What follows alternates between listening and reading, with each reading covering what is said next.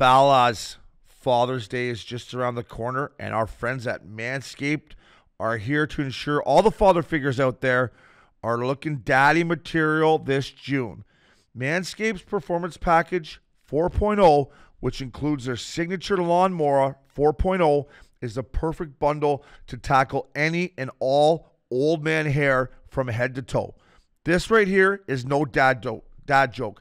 Treat him and yourself and join the 4 million men worldwide who trust Manscaped. With this exclusive offer, get 20% off and free shipping with the code curfew at manscaped.com. Trust me, his dad bod will thank you. Get 20% off and free shipping with the code curfew at manscaped.com. That's 20% off with free shipping at manscaped.com using the code curfew. Shake what your mama gave you. Nah, shake what your daddy gave you. Fella. Hey guys, it's Matthew Tkachuk here, and you're listening to Missin Curfew. Dearly beloved, we're gathered here today to get through this thing called life. And if the elevator tries to bring you down, go crazy.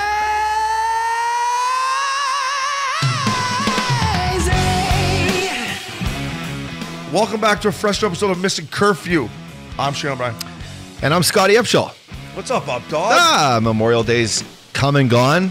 We can now wear white pants again. Yeah, I felt about I thought about wearing white in here today, but I don't know. The camera, you know, I wear black for a reason. Yeah, I'm not I- fooling anyone. Everyone the- knows why I'm wearing black. I moved the white pants from the far side of the closet right on over. Yeah, a couple giant. Oh, this is your time to shine, baby. know, break out the pinks, break out the yellows, break out the light The greens, salmons. I'm gonna the jump on, jump on Good Life and grab a couple new tarps. I did. I'm, I wanted to tell you, I did. I finally Nice. did it. A lot of V necks, A lot of V's. a lot of V's. I got a pink V, uh, light blue V, uh, just like kind of a light green V, a couple white V's, and then of course a couple black V's. Well, after a trip to the Bahamas, there's no there's no tan lines anymore, so you could just rock whatever V you want to walk. I didn't have my tarp on very much there. I don't care. How was how was Baker's Bay? It was it was a spectacular place. Um, shout out to my our boy John Jaffe and Javi Jaffe. Um, what a what a oh, great word. That's what I called him at the end. I was coming back. We John Legend. Yeah, we flew through his plane, and I was trying to catch my plane back to back here because my boy Cramper from home was here. So we clear the. I'm the first person to clear customs, and the U.S. Customs lady's like, "I'm all clear." She's like, "You can't leave till everyone." And I'm like, I swore at her. U.S. Customs. I go, what the fuck do you mean I can't go anywhere? Yeah, yeah, yeah, yeah. I did. And then she like looked at me, and I'm like, sorry, I shouldn't swear at you, but like I'm trying to catch a flight. I literally just cleared customs. I can't leave without these other people. Like, what are you talking about? And then another girl came around. I was like, you're good to go.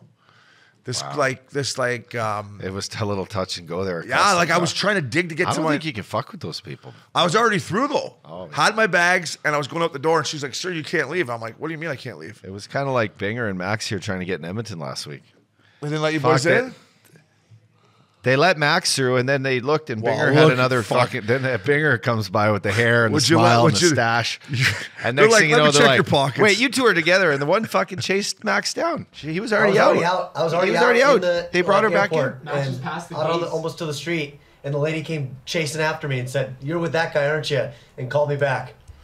And I had a lunch to go to, so I'm like, "Fuck, I might have to jump in my own Uber." Yeah, yeah, yeah. See, so you're like me. I got boys. You're like, sorry, boys. I got. I had to catch a flight. I'm like, Jaffe's like, just go, just go. I didn't. How did I not hear that story? By the way, boys, that's something we should have talked about. But, um, it's hilarious. By the way, I mean, look at Binger. You're And dead like- fucking heat score and anyway. It's like, Binger, at- Binger, have you ch- double checked all your pockets and your bags here? now, now they're going to bring out the old rough, the dogs, bud. Yeah. The dogs are coming. I was stressed. I was stressed. Sweating I like a know. whore in church back then. Yeah. Oh, yeah. I was stressed Well, with the listen. stuff in my backpack. Listen, yeah, you never know what the hell you left in the old pair of Levi's or the ones that you bought at the fucking Goodwill place there, right? You never know what's in the back of that little. That You never know little what the, you never know what the last guy left in those. Yeah.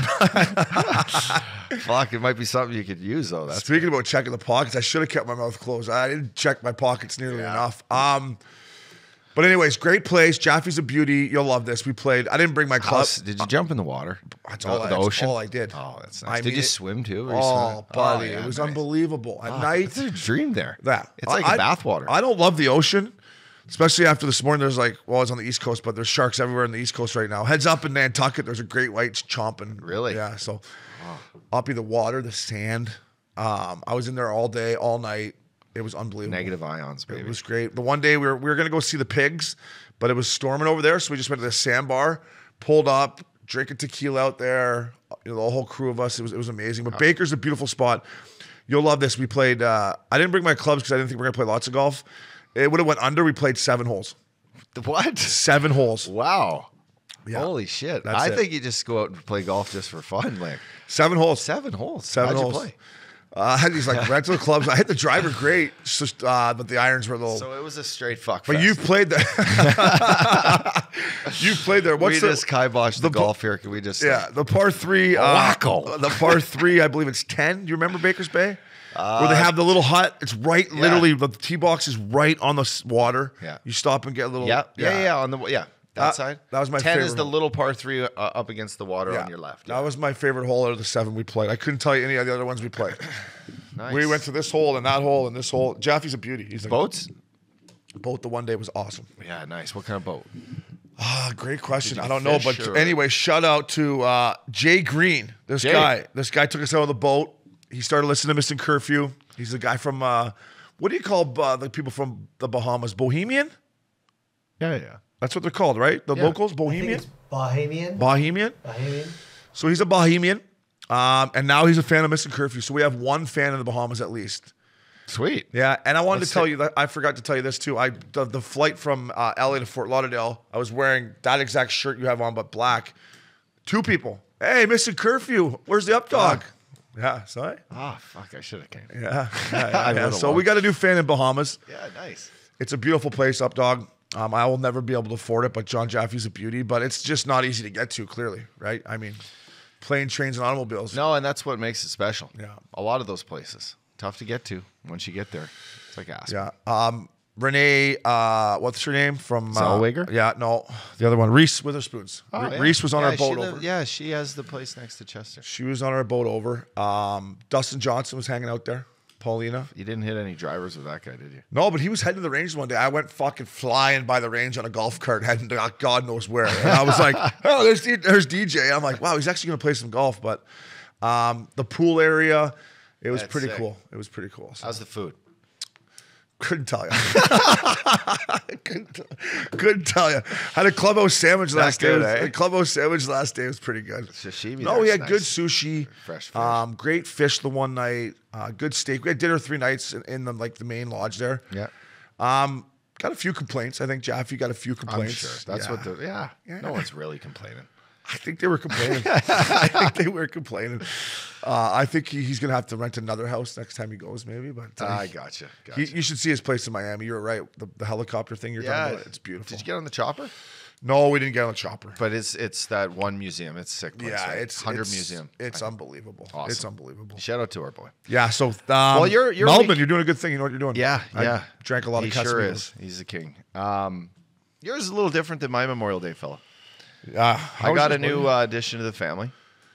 We the Upshall uh, clans multiplying we, daily. We added a uh, a eight week old Cavapoo. Her name is Ruby. We call Ruby. Her, we call her Rue. I like Ruby.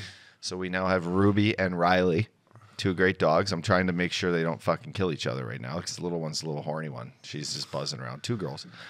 There you go. little girl on girl action. Nothing wrong with. Um, yeah. So she's a great. I saw that in the Bahamas too, by the way. She's a great little dog. Oh fuck! I saw You that in the? Bahamas too, by the way. God, I just, wish I came. Just joking, buddy. Um, Just joking. No, so yeah, so we got a new dog. Um, you know, we spent uh, Sunday. You know, we saw the crew, saw Stu and PJ and all the kids, and anyway, we had a good day there. Um, and then a little Friday golf. Nice. Carried into a couple drinks our boy Frankie, and we were kind of drowning our sorrows over the St. Louis Blues loss. You know, our boy Frankie running Rothschilds, Yeah. Big Blues guy. I'm, I'm going to see him Friday night. It's my buddy Cramper who's here. I was going to bring him into the studio, but we got a busy day here. Uh, it's his. I'm going to have his birthday party Friday at Rothschild's. Nice. Is Frankie back from Mexico? Have you texted? I don't know. I texted with him last week. Okay, good. Um, I hope he's there because I'm going to go in there and rub it right some salt in his wound about the St. Louis Blues. yeah, can't- yeah, I know. It was, it was tough, but um, He's a diehard. Yeah, no, it's uh yeah, it was tough, but good weekend altogether. Yeah, it's crazy waking up. What today? June one, right? June one 1st. I'm like, wow, it's fucking summer's here. So yeah, summer's here. Summer's here. We got a month left. The hockey up, dog. Maybe a month and a bit. Then we got some free agent stuff and draft, and then me and you are fucking gonna go on a little break ourselves. So, anyways, up, dog. You represented our country, Canada, before in this tournament, the World Championship. I spoke to you about Team Finland. I played in Finland, the fans and everything. I saw a little bit of that gold medal game, but little controversy. I saw Pierre Luc Dubois' interview. He was ch- he was chapped. Yeah, I think he said I don't. know What did he say? He said one word like thirty times. But Sucks. yeah, uh, Was he say su- it just He sucks. said something. It just, It just sucks, or sucks. something. Losing a tournament like that just sucks. and I'll be honest. I uh, I watched a little bit of it. I, so I bet Canada, and I bet the As you should've. Listen, and I bet the over, and it's three. It's fucking three one OB. Well, basically they hurt their goalie. Um, you know, he pulls his groin. Tough, tough way to go out. They're up one nothing. Boom, one one. Boom, two one, three one, and I'm like, holy fuck. They just lost this fucking game and they had it in their in their in their control. Yeah. So I jump from Big Canyon, I drive home, it's Sunday afternoon. And I'm asking Flowers for his DirecTV password because NHL Network's only on DirecTV, right? I don't have that at my house. So I finally get it. I tune on. It's fucking 3 3. Canada scores two late goals to tie it up. And I'm like, wow, we have a game. Really? Izzy, come over here. So then I watch overtime with Izzy. And I happened to catch, um, you know, during the game, I happened to see one of our uh, one of our D men lift Miro Heiskanen's stick, and his own stick hits him in the face, and we get a we get a fucking high sticking penalty, right? I'm like, that's just kind of Europe for you. You never know what the hell you're gonna get. Like with with European refing and just you don't know what you're gonna get, and they can't like, I don't know if there's video review or whatever. So I'm like, whatever. Then overtime, buddy, it's three on three. It's fucking full three on three sudden death overtime. Just Chaos. in the big ice. Yeah. And I'm like, this is awesome, right? But they're circling a couple good chances, and I'm like, this is cool because it's gonna be decided three on three, just fucking fuck fest out there. Just it's gonna be good.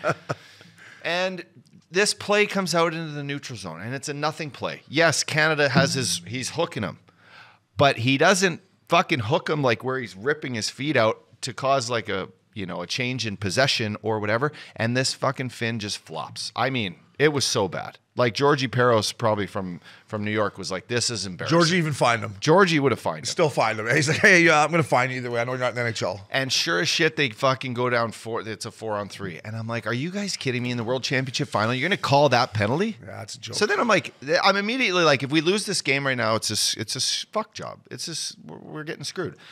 And sure enough, they killed like a minute, minute and a half off, and then this, you know, this fucking Granlund man, he played good. He was good, Mikael Granlund. Yeah, He- yeah, yeah. He made he made a couple passes in the in that game on the power play. I don't know if he led the fucking he led the tournament in points, but he was he was a pretty standout player for for Finland. Yeah. And one timer cross cross ice, boom, game over in Finland. Crowd was going nuts. By the way, oh. that rink in Helsinki is Oh. Sick barn. unbelievable. Sick barn. They got the The fucking two barns they played in were the two nicest barns in the league. Tem- Yeah, they got Tampere, Tampere, and Helsinki. Is that where uh, Kimmo's from? Tampere? No, Kimmo. Uh, that beauty's from up north. Okay. Kalpa or something. So like I'm that. sure Timu was there cheering on his boys, probably calling the game. But it was a screw job. Just end it like three on three. Man, it's the fucking finals, right? Yeah. To me, that was just embarrassing. I would have even felt bad if it was a Canadian that flopped and we won on a stupid power play goal like that. I would have been like, Finland got screwed at home. That's Yeah. the way I would have felt. So anyone listening or whoever read my tweet where I just was like, that's fucking fuck job. Yeah. And they all came at me. Well, the game was like this. I didn't watch the whole game. I'm just telling you what happened at the end of the game. I'm just calling it fucking live when I see it. Yeah. So anyway, Um, I'm, I agree with you. A, a championship should never be decided like that. When I saw uh, Pierre Luc Dubois' interview, I felt for him. I will say this. Um, speaking of DirecTV, up they keep calling me. I must have like a bill or something I haven't paid. I got to look into that. Um, they won the Olympic gold and they won the world championship. Yeah. I know the Olympic gold. There was no national leaguers. Um, Finland's here, man. I know I they said it to you and Loops back in the day when I went over there on a fucking I don't know even what you want to call it, but they have great fans. They have great players. And I did never know that Joel Armia was Finnish. Did you know that? No, I did either. He not. was playing for Team Finland. I'm like, this guy's Finnish. I thought he was fucking Plays hard. Canadian or American. Armenian? yeah, I figured if you play for the Canadians, you got to be like. Yeah, I French never thought he was Finnish. I'm watching them play, but their team looked big. Heiskanen was They there. looked He- he structured. looked good. Their team looked like I watched Finland play and Canada play the most in that tournament, and Finland looked How just about as good. how about Canada. Flip uh, Filppula? Great player. He just fucking ends his career in the National League, goes wins a gold medal at the fucking Olympics, and then wins a gold medal at the World Championships. yeah, he's It's a nice way to. You could put him in the Getzlav. He's got the trifecta: Cup, Olympic Yeah. gold, World Yeah. gold. Always looked up. He he was always a, a guy my age that we battled against, and I look up to him. He's a good player. congrats to Finland. Um, there would have been a lot of beer drank in, fin- in Finland that Did night. you see how many people tuned into the game? There was like three and a half or four million people actually viewed the game at one point, which is the most like anyone in Finland's ever watched TV. Yeah. which, which is crazy because you'd you'd imagine with all the darkness in the winter, a lot of them probably watch Netflix or That's all I watched. Stranger That's all I did over there is watch Netflix. yeah. But uh, but no, and then and then the parade looked pretty awesome. Like, congrats to them, man. That's that's huge. Helsinki's a great city. Great city. How many how many guys fit in that sauna Buck Diddy and just drank themselves? There was definitely a sauna, cold plunge sauna, Buck Diddy. Yeah, they love a good sauna in Finland. They love a good sauna. So congrats to them. Um, Updog, Torts, ha- apparently, while it's true, has been has been interviewed by the Philadelphia Flyers. I personally would love to see John Tortorella back coaching hockey. Um, I have asked him to come on this podcast twice now. Both answers were, "Obes, I'm not coming on the fucking pod" or something like that. But if he gets hired, I will ask him again. As a former Flyer, do you think Torts would be a good fit there? I'd love to see how he uh, talks to the media Yeah, because they're fucking assholes there. exactly. Like It this would be good Panaccio, TV. this guy Panaccio, like he would just he would get under his skin and it would be it would be good TV. Um, and he'd be allowed to probably say whatever he wants rather than ESPN where he's a little bit tied tied down. As the head coach, you get to swear and do whatever you want, right? Yeah. So I, think just, it'd be good. I just remember Torts lighting up the guy Um, from New York, Brooksy. Hey, Brooksy. Yeah, you were the guy that probably got beat up at the bus stop, weren't you, Brooksy?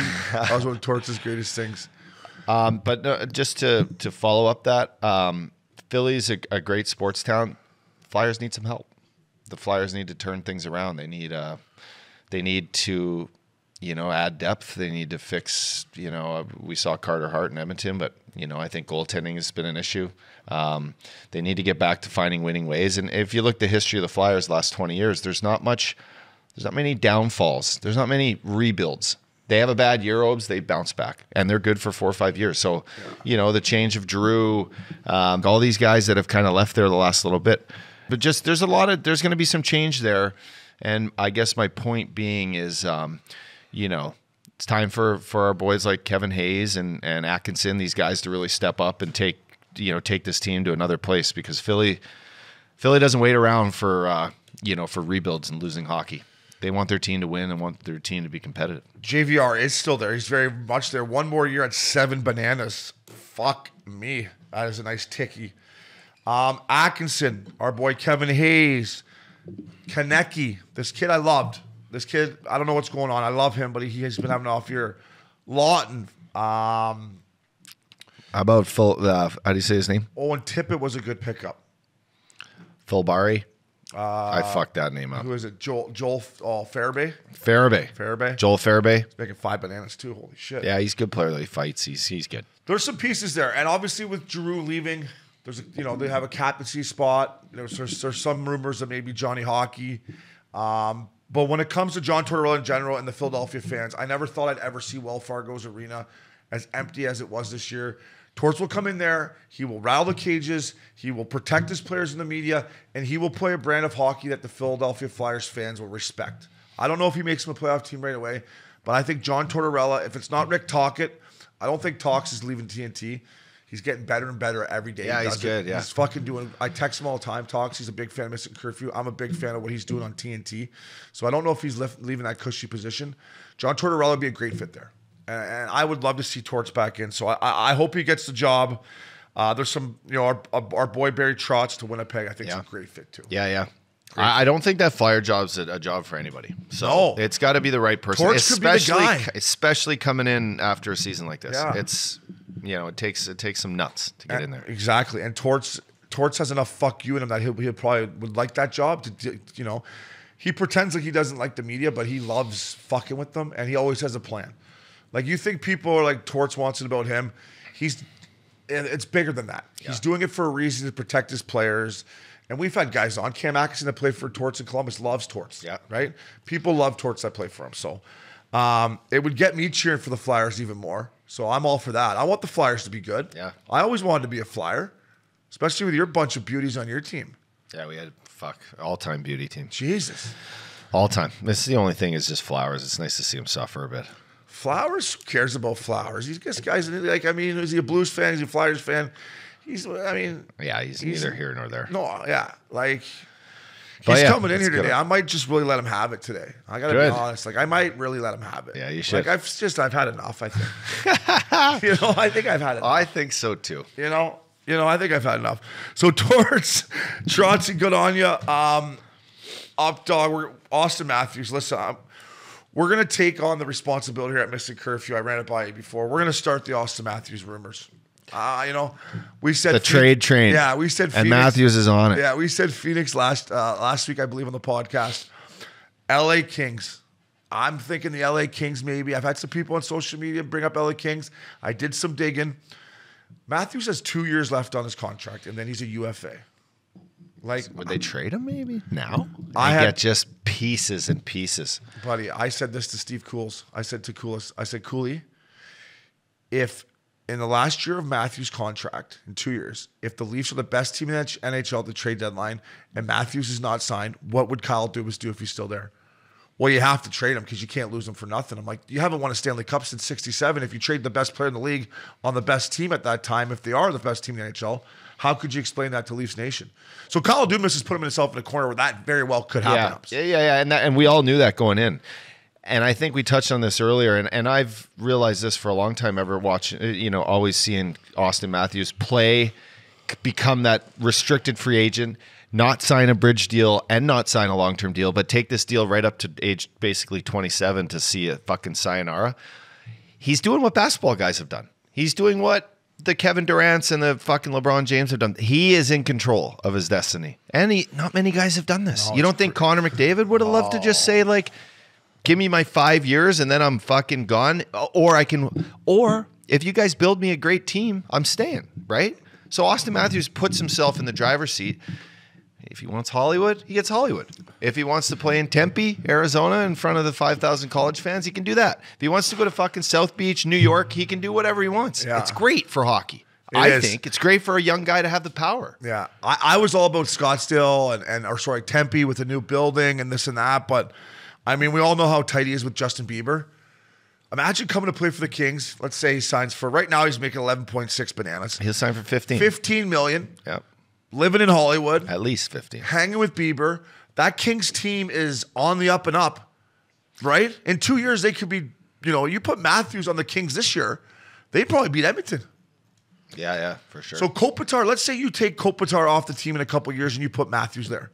Now you got Matthews, that French guy that I can never say his name, Phillip Danault, yep. Kempy. Kempy. I'd like to just see him play with Kempy. Yeah. It'd be awesome. I'd just like to see him play now. Imagine like the indoor, like we talk about the Hockey would become really fucking cool down here again. we talk about the guy that could be maybe the, like we talked about Connor. You know, well, we all know what Wayner did for hockey. If Matthews comes to LA, maybe he takes hockey to that next level where guys are starting to make more and more salaries and stuff like that. It could be game changing. Yeah. And there's a lot of fucking people down here. Hockey has been growing, but not at a pace you want to see it. The LA Kings throughout the fucking, you know, 2010, 11, 12, 13, 14, winning those cups was huge for California, but need to bring it back. Need to roll it back. And I think uh I think missin curfew's onto something. Yeah, he guy. he'd look good in the black and silver of the Kings too. And then imagine him walking to Staples. He's Yeah, a stylish all guy. Fuck, it doesn't no snow you just want to see Kyle Dubas get fucked. I I shouldn't either. I'm a Leafs. I grew up a Leafs fan. Dougie know, Wendell. you're, you're not, you, Dougie. you haven't been happy how he's built his team. He's a fuck. Come on, man. you haven't been happy. It's a joke. I always hear it out of you. Shanny too. Shanny, I love you. Which brings us right into our next topic. We're gonna get into Brendan Shanahan. I loved you as a player. I bumped into you in Vegas with Loops. I remember we had dinner with Shanny, me, you, Lund- Lundqvist, Biz. Yeah, yeah, yeah. Yeah, yeah. I Yeah, love. Shanny. He's a great guy. Like this, this isn't personal. I think he hasn't done a great job as president either. But I don't even know what the role as a president is, so I can't trip Shanny. I know what the GM's supposed to do. Yeah. And I'm and with Dubas, how you've let your the best goal scorer in the game right now in two years, he could walk away and you could get nothing for him. Like, forget all the other stuff ups. That's like red flag, no? Like, Yeah, yeah, but I, I mean, I think the hockey world's kind of known this, so he's in this like, let's do it, and he's in a do or die like situation kind of every year. Like we gotta win because this, and if we win, maybe he stays. Yeah. If we don't win, I'm fucked.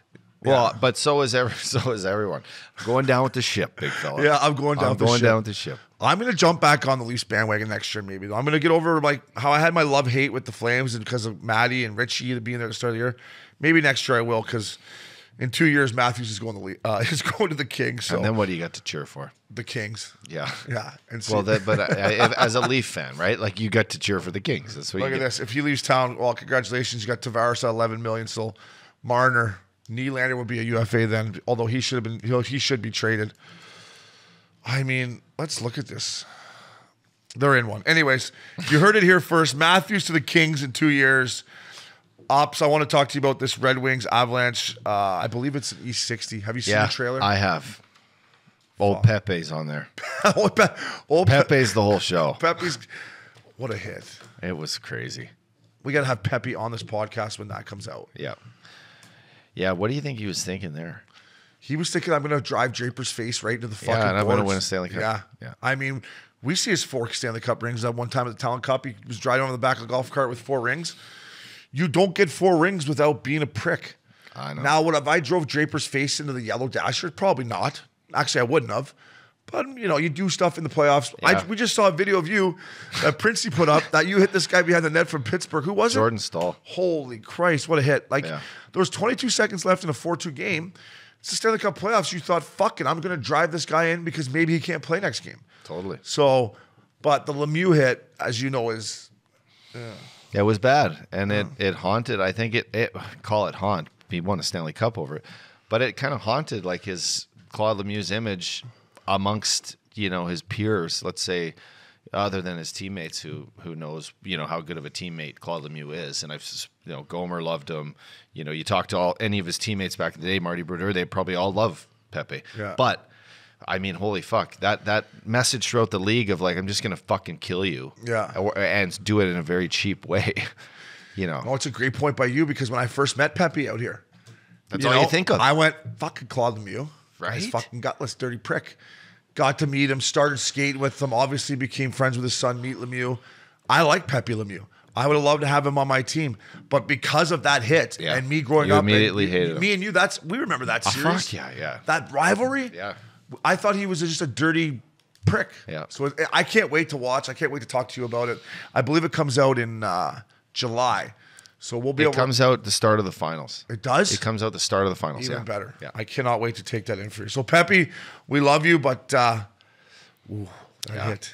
That. That was the best time too, in the Forsberg and Patty Waugh and like Ray Bourque and fucking you had all like Stevie Y, Fedorov. They- I mean, those are fucking legendary teams. legend. They had skill and toughness and swag and everything. McCarty. Yeah, They had tough guys. They had cool guys like Fedorov. They had Chelly. Joe Sakic. They had Chelly, Patty Waugh. yeah, yeah, it's badass. It's sick. So That's I, hockey. I can't wait. That's hockey. That's hockey. Uh, up dog. Speaking of what's not hockey, our first segment brought to you by our good friends at DraftKings is called Tee Times, fella. Tee Times. I haven't been golfing a lot lately. I've, you know, I haven't played, Seven holes. played seven holes in Baker's Bay. Don't remember those. I haven't played Big Canyon in three weeks. I don't think. Like, oh no, I played yesterday with my buddy Cramper. Oh, nice. Shot 82. First time I played. Fuck. Yeah, but it's a lot easier when you're just playing with a buddy. Yeah. Yeah, yeah. Uh, anyways, your St. Louis Blues, um, hell of a season. Factor had a hell of a playoff. You owe me a ball of Camus. I owe you a bottle. Thank God. But more importantly, Flowers owes me a ball of Camus. Looking back on their year, what do you think? Um, you know, do they have a couple more good runs in them? Perron, free agent, wants to come back, I would assume. But what's your feel on the Blues moving forward and their season? I think they, uh, I think they're in a good a good spot.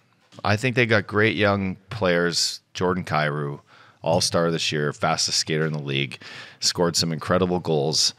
Would I like to see him step up in more of a timely fashion this playoff round? You know, being the guy he is. I thought he was a little quiet in some games. Um, but you know he's a great guy you can build your team around. Robert Thomas, incredible player. I for the for a split moment in the round against Colorado, I thought because of Robert Thomas right now, the St. Louis Blues might win this might win this round. Put Binnington aside, getting hurt, which I think fucked them. Um, Robert Thomas in Game Five took over the game single handedly, um, gave their team some life. Uh, so you know those two guys, Obi, and you know what? They, as long as they don't sign them, so they're gone at free agency, like the Matthews thing. This team is they're going to be on the right path. Do they? You know, how do they shed salary? Um, do they look to move? You know, is is the Binny thing, Husso thing, an area they can save money? Do they trade Binny? I don't know. Do they I- trade Binner? I would trade Binnington. I like Binnington. All I, I, Husso has not showed me enough yet to Yeah. think that he's a guy. They got their D locked up. Ups. They got Falk, Krug, Parayko locked up until 26, 27. They got Scandella for a couple years. They got your boy Bobo for two years. So their back end is locked and loaded. Yep. The fact that he and, and Vladdy got one year left at seven seven five each. So you would think they got to sign O'Reilly here, right? Like Yeah. So O'Reilly's got one year left. one year left. You know, the Torey Krug injury Obes really hurt. The D, is Krug being out in the playoffs really hurt them. I, I would have loved to see them. really healthy and and fuck like just tough injury. I don't even know what the fuck happened to him, but tough injury. Knee, wasn't it? I don't know. It's tough. Yeah, he had a great year. I um, love Torey Krug. I love him. David Perron gets better with age. He has been he's a beast. I know. I I used to hate playing against him. I didn't know he's still so young. Kid's like 33. He's got years to play. So listen, ups, you're right. So you got Kyrou Thomas at 2.8 for one more year. Barbashev at one more year, 2.2. Love Barbie. Walker, Logan Brown, and that Alex Torp. How do you say his name? Torpecci? Tor, the Russian guy. Topenko. Well, don't know. 750. It's not Topenko. It's something. Doug Armstrong. does- yeah, that's it. Doug Armstrong does not need my advice. He's got a Stanley Cup. I Yeah. have zero Stanley Cups. If you'd like to just hear my opinion, I would say you got to tighten up those three and four lines there, the third and fourth line. The, Ian, the Nathan Walker kid, I like the Aussie. I like him. I would say whatever's going to happen. Now, let's say they re-sign O'Reilly, they re-sign Perron. I then think you got to try to trade Vladimir Tarasenko again, even though I thought he had a great year. But if you can get that 7-5 off the books, sign Perron, then you got some more money to, to I know they had 920 goal scorers, which makes this what I'm saying. People are probably like, oh, what are we talking about? I still think they're they're bottom six. If they could add a couple more veterans, Yeah. veteran veterans, they could win another Stanley Cup before O'Reilly's done.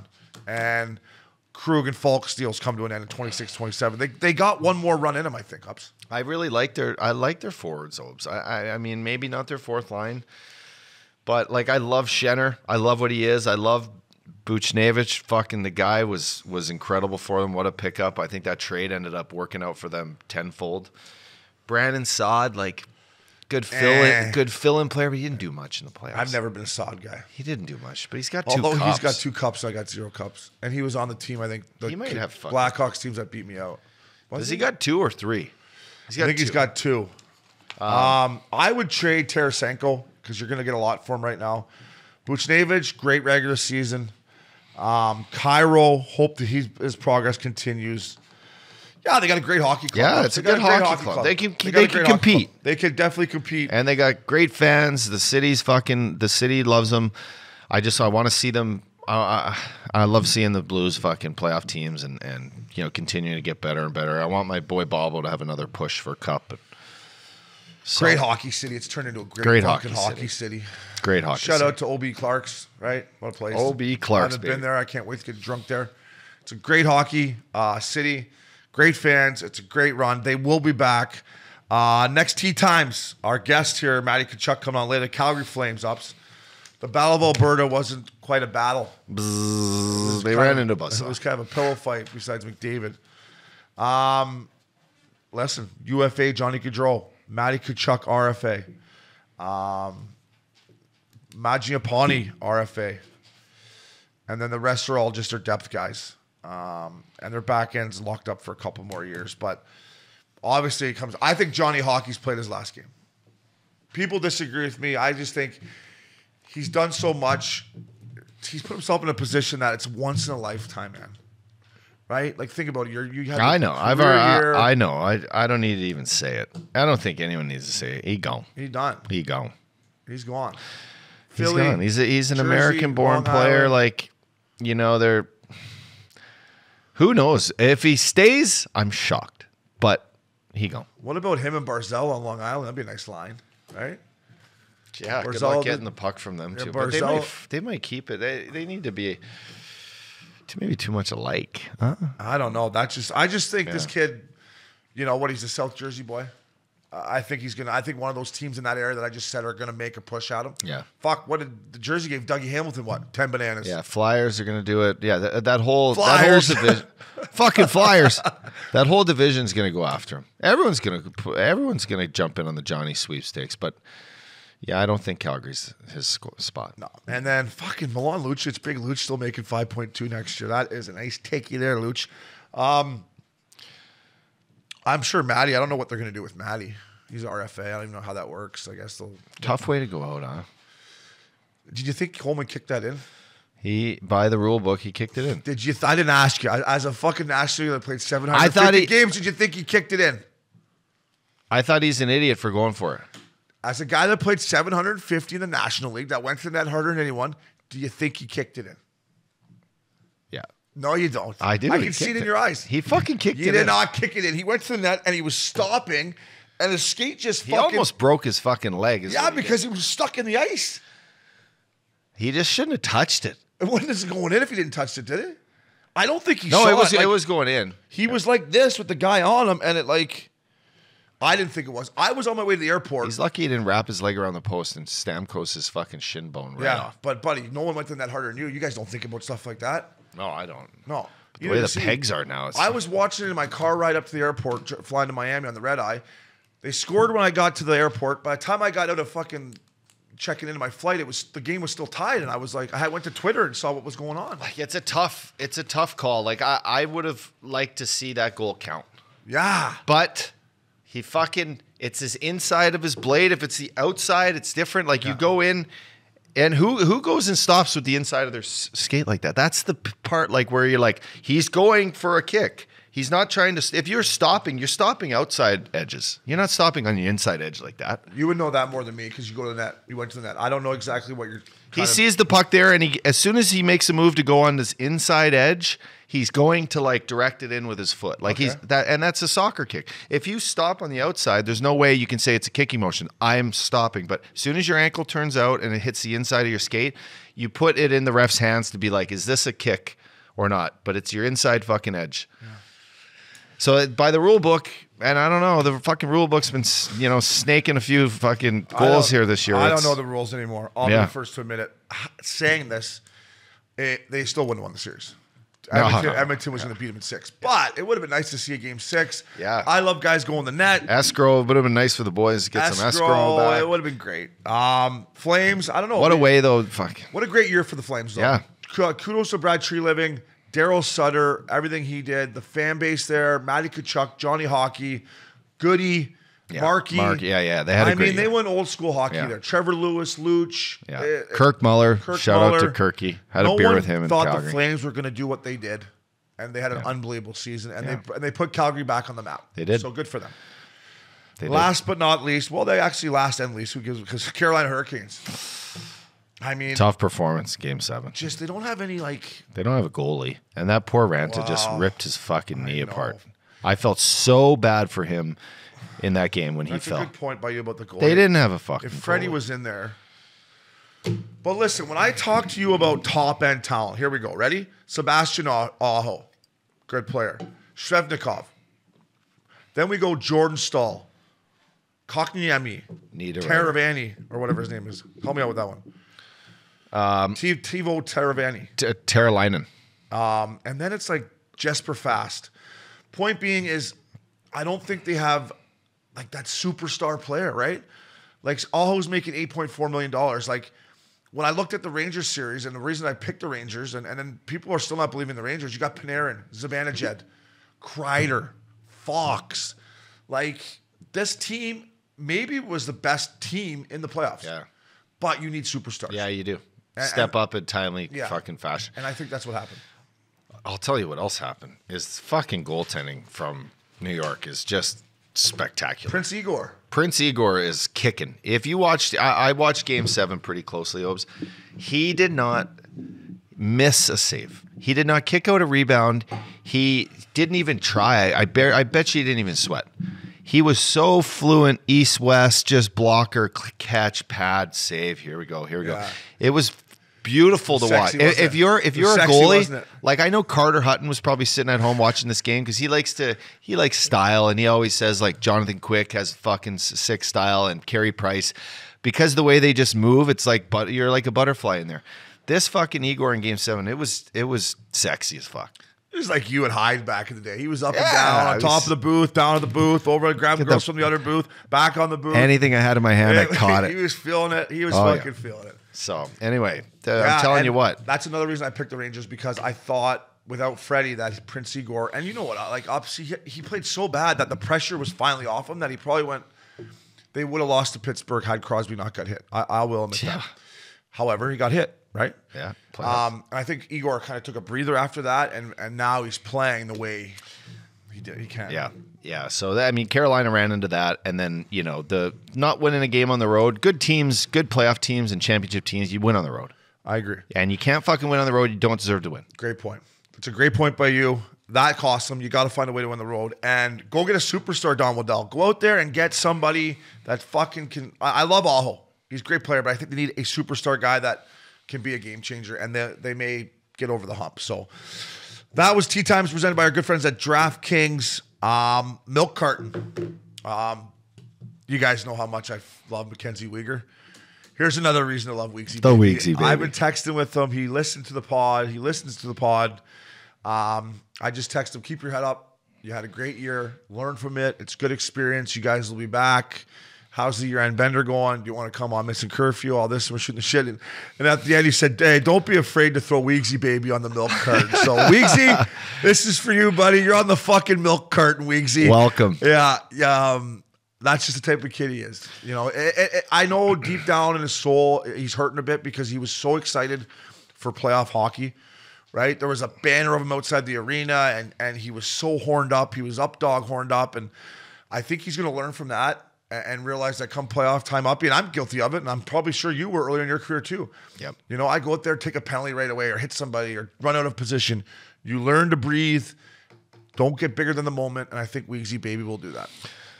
Playoff hockey is way different than regular season Yeah. hockey. You can be a great team. You can set records. You can score six goals a game. Your power play can click.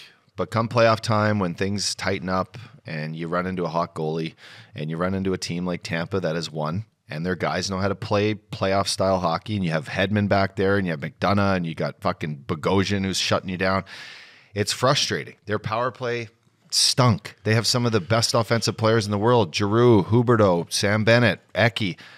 Couldn't couldn't get it done. Mm-hmm. How do you get? How do you find ways Yeah, to win games? you're not the only guy we could put on the fucking. but how do you carton find ways to win a game if your power play doesn't work? Like it's it's hard. Power play, you need to step up and score timely goals. You can't go 0 for 26, 27, 28 in the playoffs expect to win. Especially against Vasilevsky. No chance. Um, so I agree. So Weezy, was ba-. Weezy baby, because you told me to, fella. You're on, You're the, on you're on the milk carton this week. He just was in Miami having time, so he's probably hung cheese getting an IV right now. But Weezy, I love you. You'll be back, and he's gonna come and check in after his bender's over. So let's get him out here. yeah, I would love to see. Let's get him a fucking. Uh, we'll get him a ticket. I would love to see Weezy baby. Up dog, our next segment brought to you by our good friends at Cannadips Lip Boomers. I got the strawberry cough going on right now. These guys must be killing it because every time I go to order this new shit, um, it's fucking sold out. Wow, I haven't seen this one before. Yeah, this one's nice. Strawberry. Yeah, we gotta get this shit in Canada. I, I've been talking to these guys. Get it up there. I brought a bunch of logs up. Gave a bunch to Brento. Did you? there. Yeah. I mean, you got to get them up there. Um, the West Final presented by Cannadips, Lip Boomers, promo code Curfew Cali. Game one was last night. I don't know. I don't know what nice pass. I don't know what to say. Um, I didn't know what to think. Go ahead. I don't know. I don't know. Well, I took Edmonton in the series. Just so we're, we're get this out there. You've right? been all So over the fucking map on these guys. I Can wanted- we pull up some clips from up here earlier in the year? I when you said wanted to, you know, I wanted to ask our guest today um, his thoughts on the dog days being in Alberta. um, and if it's real in Calgary or if you- it's real in just Edmonton, but it's a real fucking thing up there. We got to get you a Dog Days T-shirt. And so Edmonton is obviously out of the dog days and they are scoring at will. But look at their first, look at the first game in Calgary. Look at the first game in uh, here in, in Colorado. They get down fucking six goals like immediately and they come back to basically compete and tie the game. It's, it's pretty special. So, you know, I look at the game like that last night.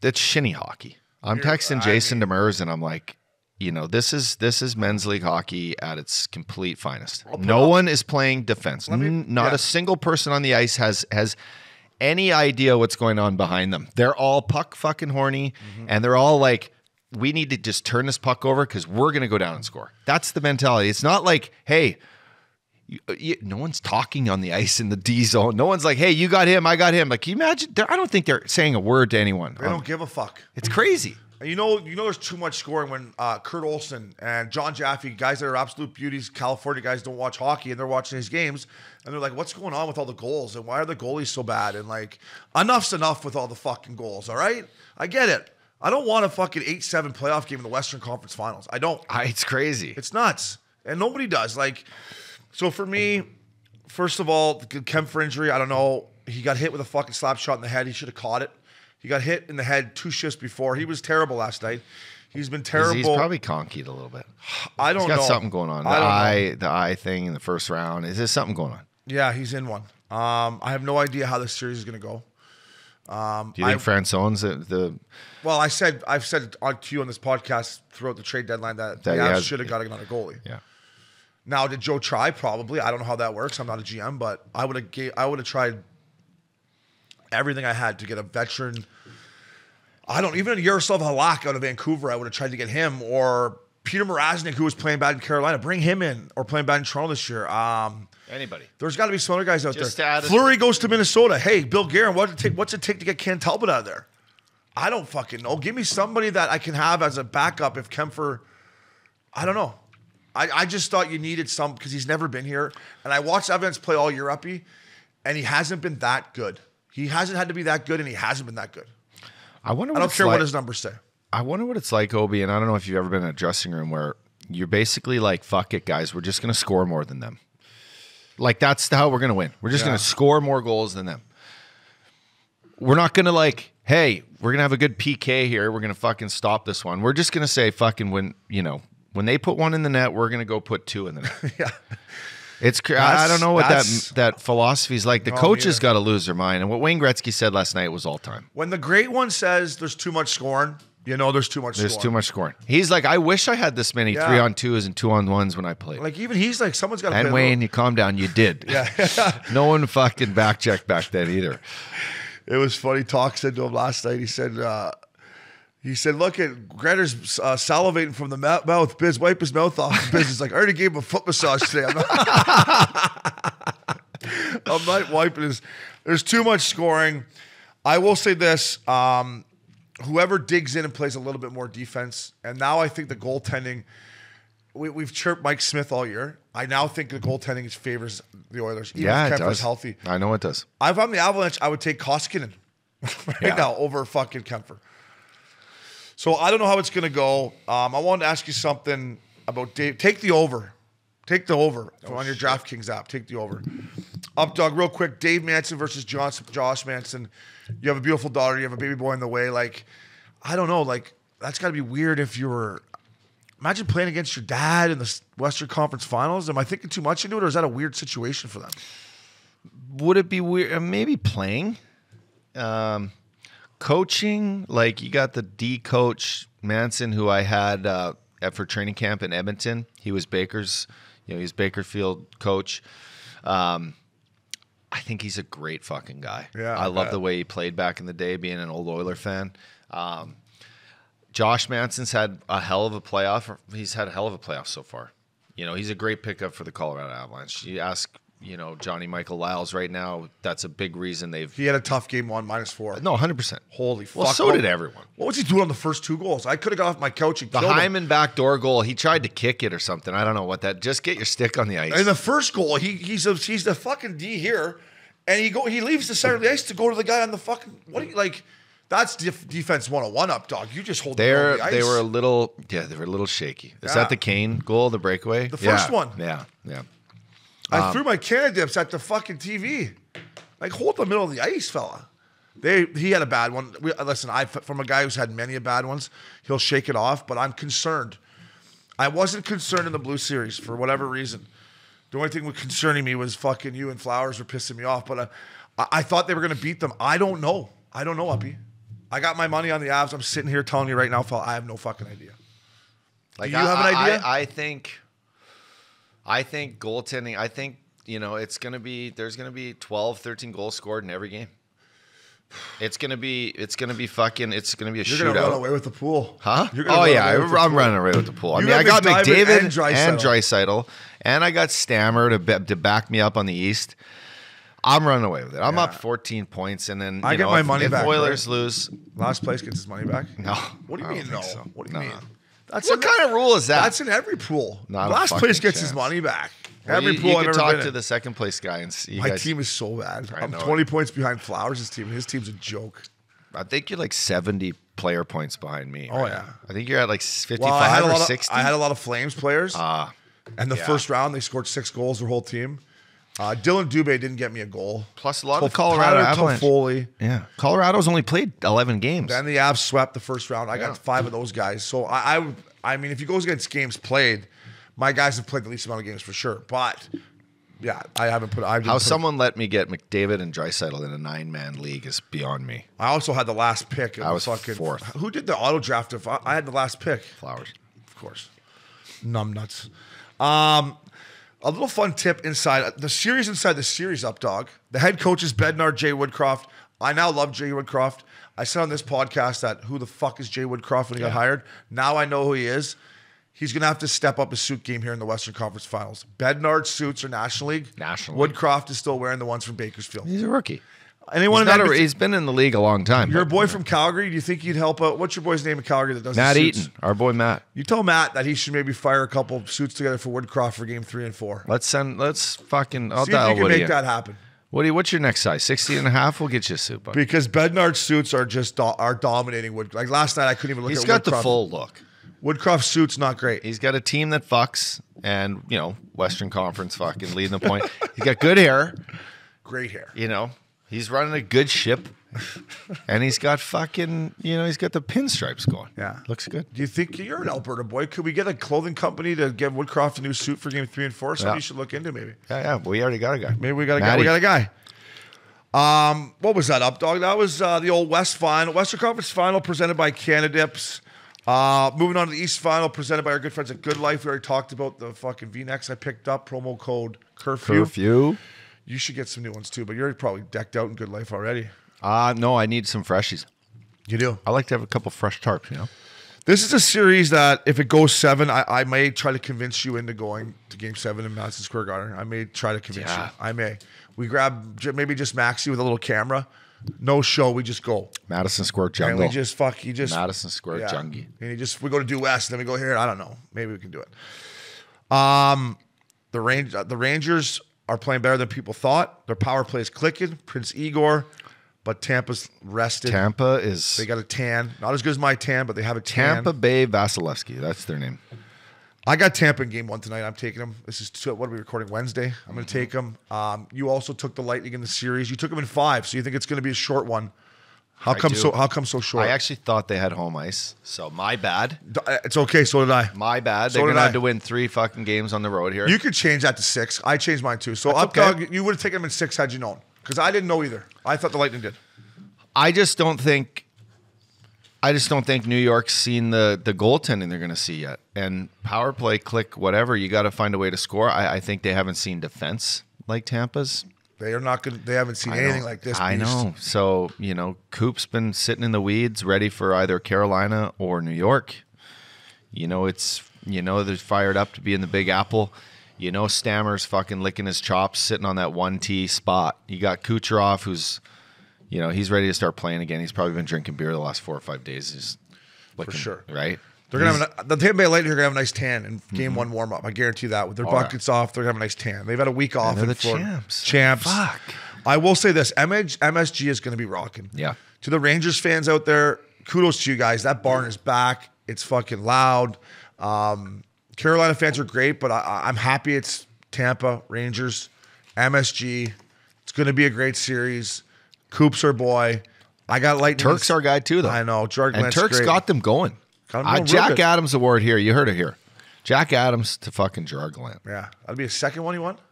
It should be his this year. I mean, give fucking guy gets hosed both places. Now he goes to New York and takes these guys to the conference final. I mean, come on. If there's a game seven, you want to go to it? Yeah. Okay. I don't know when that would be, um, but maybe we'll go to it if it goes 7 100%. That'd be fun. Zip in and out, in and out. I'm in. All right, fella. Um, that was the Eastern Conference Final, Game One tonight, Wednesday night, presented by our good friends at Good Life. Promo code Curfew. People in Canada, you can get it. Summertime, the lake, get the Good Life going. They got some nice bathing suits too. Nice short trunks, shorts, too. Swim trunks. If you got the, you don't, you don't have any tan lines high up on those quads. You get the nice short shorts. Gotta with get the life. get the up dog leg going, like show off, show her, show off.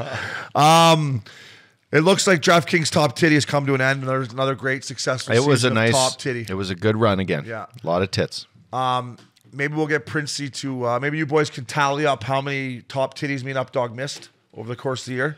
Next week we'll talk about that maybe. I think Updog missed more than me. I'm gonna go on a limb. 100% I did. Not 100. percent It's closer than you think. And I will, uh, I'll It's- bring in a bottle of fucking hey, whatever, JMO for the it's boys. closer than you think. Is it? I missed a fucking ton too. Yeah, but add, add another 10 on that for me. I, bet you it's. I, I'm gonna say it's under. I wasn't perfect. I'm gonna say it's five each way. Like, I, it's close. My ADD was coming into I missed every Friday because of golf. It's close. I know. But to our fans, to DraftKings, thank you for guys doing that. It's fun for us. If, if for listeners who haven't done it next year, get involved. It- it's cool. It makes you pay attention to more games. doesn't cost a whole lot to get involved. Um, and then real quick, up dog, before we bring on Flowers here for his uh, weekly segment or every, every other week segment, we did a little Stanley Cup boost. Tampa, Colorado in the finals. I picked them. I know you got the Oilers, so you let me pick this. Um, so go check that out on DraftKings. You get a little boost, better odds. Hundred Tampa, percent. Colorado. Let's go, baby. That would be a great fun. I mean, Tampa, Colorado, great final. Tampa, Edmonton, great final. I mean, even if the Rangers win, I mean, the NHL is in a great spot with these last four teams, right? Yeah, yeah, they are. It, it couldn't have worked out better. Yeah. I said this too after uh, Carolina lost. I'm like, this could not have worked out better. You have, you have McDavid, MacKinnon, and Draisaitl, and call it Makar, and then you have over here you have Vasilevsky, Stammer, and fucking just put you know Adam Fox. Yeah. Boom and Igor. Totally. And Vasilevsky. Did I say the Vasilevsky? Because I mean, look at it. It's it's it's the two best goalies in the league. It's- it's I guess, great uh, Two best players in the league and the other one. And real quick, uh, Nathan MacKinnon, who you know I've become buddies with over the year. I've texted before the playoffs, go get him, fella. Obviously, I've left him alone since. But his fucking press conference where he said McDavid's the best player on the planet, and then he said, "All I care about is more viewers because of escrow." Yeah. What a line. I agree. And for play, people out there on my social media, on our social media that don't know what escrow is, go do some research, fans, and realize what these players have been paying out of their pocket to pay the owners over the course of the last four or five seasons. Go check out escrow what it is. You'll have more respect for these players and how much of their salary they really give back. yeah. Right? Or they don't get. They don't get. Yeah. Fuck escrow. Fuck it. We're gonna make a T-shirt that says "fuck escrow." Yeah, too, I Updog. like that. Updog, always a pleasure, buddy. Have you in the studio. Ah, a little rundown, rundown, Western rundown. Conference Finals, Eastern Conference Finals. Uh, can't wait to watch Tampa, New York tonight. We're recording on Wednesday. Our next guest, our boy. No, he's not. He's a not even. A, he's a fella now. I'm calling Matty Tkachuk a He's a fella. Um, you know, we obviously watched him. Love watching him play Yeah. all year. He's going to jump on here with us. He's got a big tea time at. Uh, Yeah, so What's let's the get course- what's the course they're playing They're playing? Old Warson, sick yeah. track. Yeah, that's where Prong's the member. Great course. Uh, that's where the Fact Daddy lives, right near there. Um, Sweet. so I'm sure. Uh, let's get him on quick so he can go tee it up with the boys. as the boys call him on the Flames, Chucky. DraftKings, baby. Up dog, they're everywhere. Oh boy, oh boy. What a time of year, hockey fans. The pursuit for the Stanley Cup is on. And DraftKings Sportsbook, an official sports betting partner of the NHL, has an unbelievable offer for most exciting playoffs in sports. New customers can bet $5 on any team to win and get $100 in free bets no matter what, win or lose. Updog, looking to turn a small bet into a big payday during playoffs? Hell yeah. With DraftKings same game parlay. You. You can just do that. Create your own parlay by combining multiple bets like which team will win, how many goals will be scored, and more. It's your shot at even bigger payouts. DraftKings is safe, secure, and reliable. Best of all, you can just deposit and withdraw your cash whenever you want. Download the DraftKings Sportsbook app now. Use promo code Curfew Kings. Kings. Bet $5 on any NHL team to win and get $100 in free bets no matter what. That's code Curfew Kings. at DraftKings Sportsbook, an official sports betting partner of the NHL. Minimum age and eligibility restrictions apply. See show notes for details.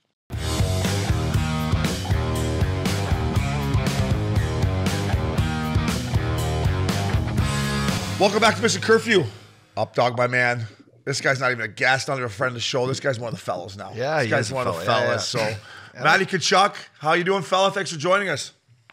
Yeah, no, always always a blast talking to you guys, and yeah, feel like I'm uh, been a little bit of a regular on here. So I'm seeing seeing a couple posts of you know the family. You've got Brady on here a lot, a lot of content from him. So yeah, feel feel like a regular now. We, yeah, we get some good banter back and forth from the Tkachuk boys. don't Yeah, we? Yeah. It was. Yeah. it- it- yeah. Brady's a beauty, and um, I guess we can start there. Just, just how great was it having your dad and your brother and, and just your whole family around? Like when I was watching you play, like I, I saw your interview before Game Seven of the first round. I want to talk to you about the first round, but you just said like this is gonna be the best atmosphere ever playing, and, and it looked like you wanted to play in that game so much. How nice was it having your bro and your dad in the building?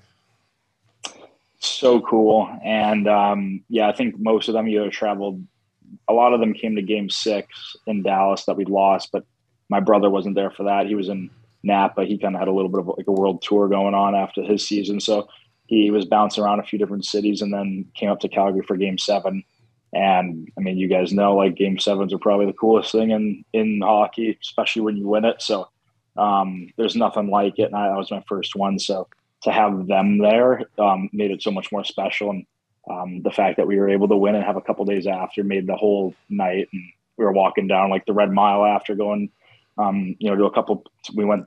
We had to get dropped off because it was close. We're walking through with all the fans and kind of getting mobbed for a block or two. Like the whole family was. 'cause They're probably more famous than I am in Calgary, my family. So it was all a really cool experience. Awesome. Awesome. Yeah, we'll get to that game seven in a bit because there's a bunch of questions I want to ask you about that. But are you a guy that, excuse me, are you a guy that notices like what's going on in the crowd during a game? Like, did you know where your brother was sitting? Did you know, like, could you, could you see kind of the antics around him, like holding the baby and like carrying the beers?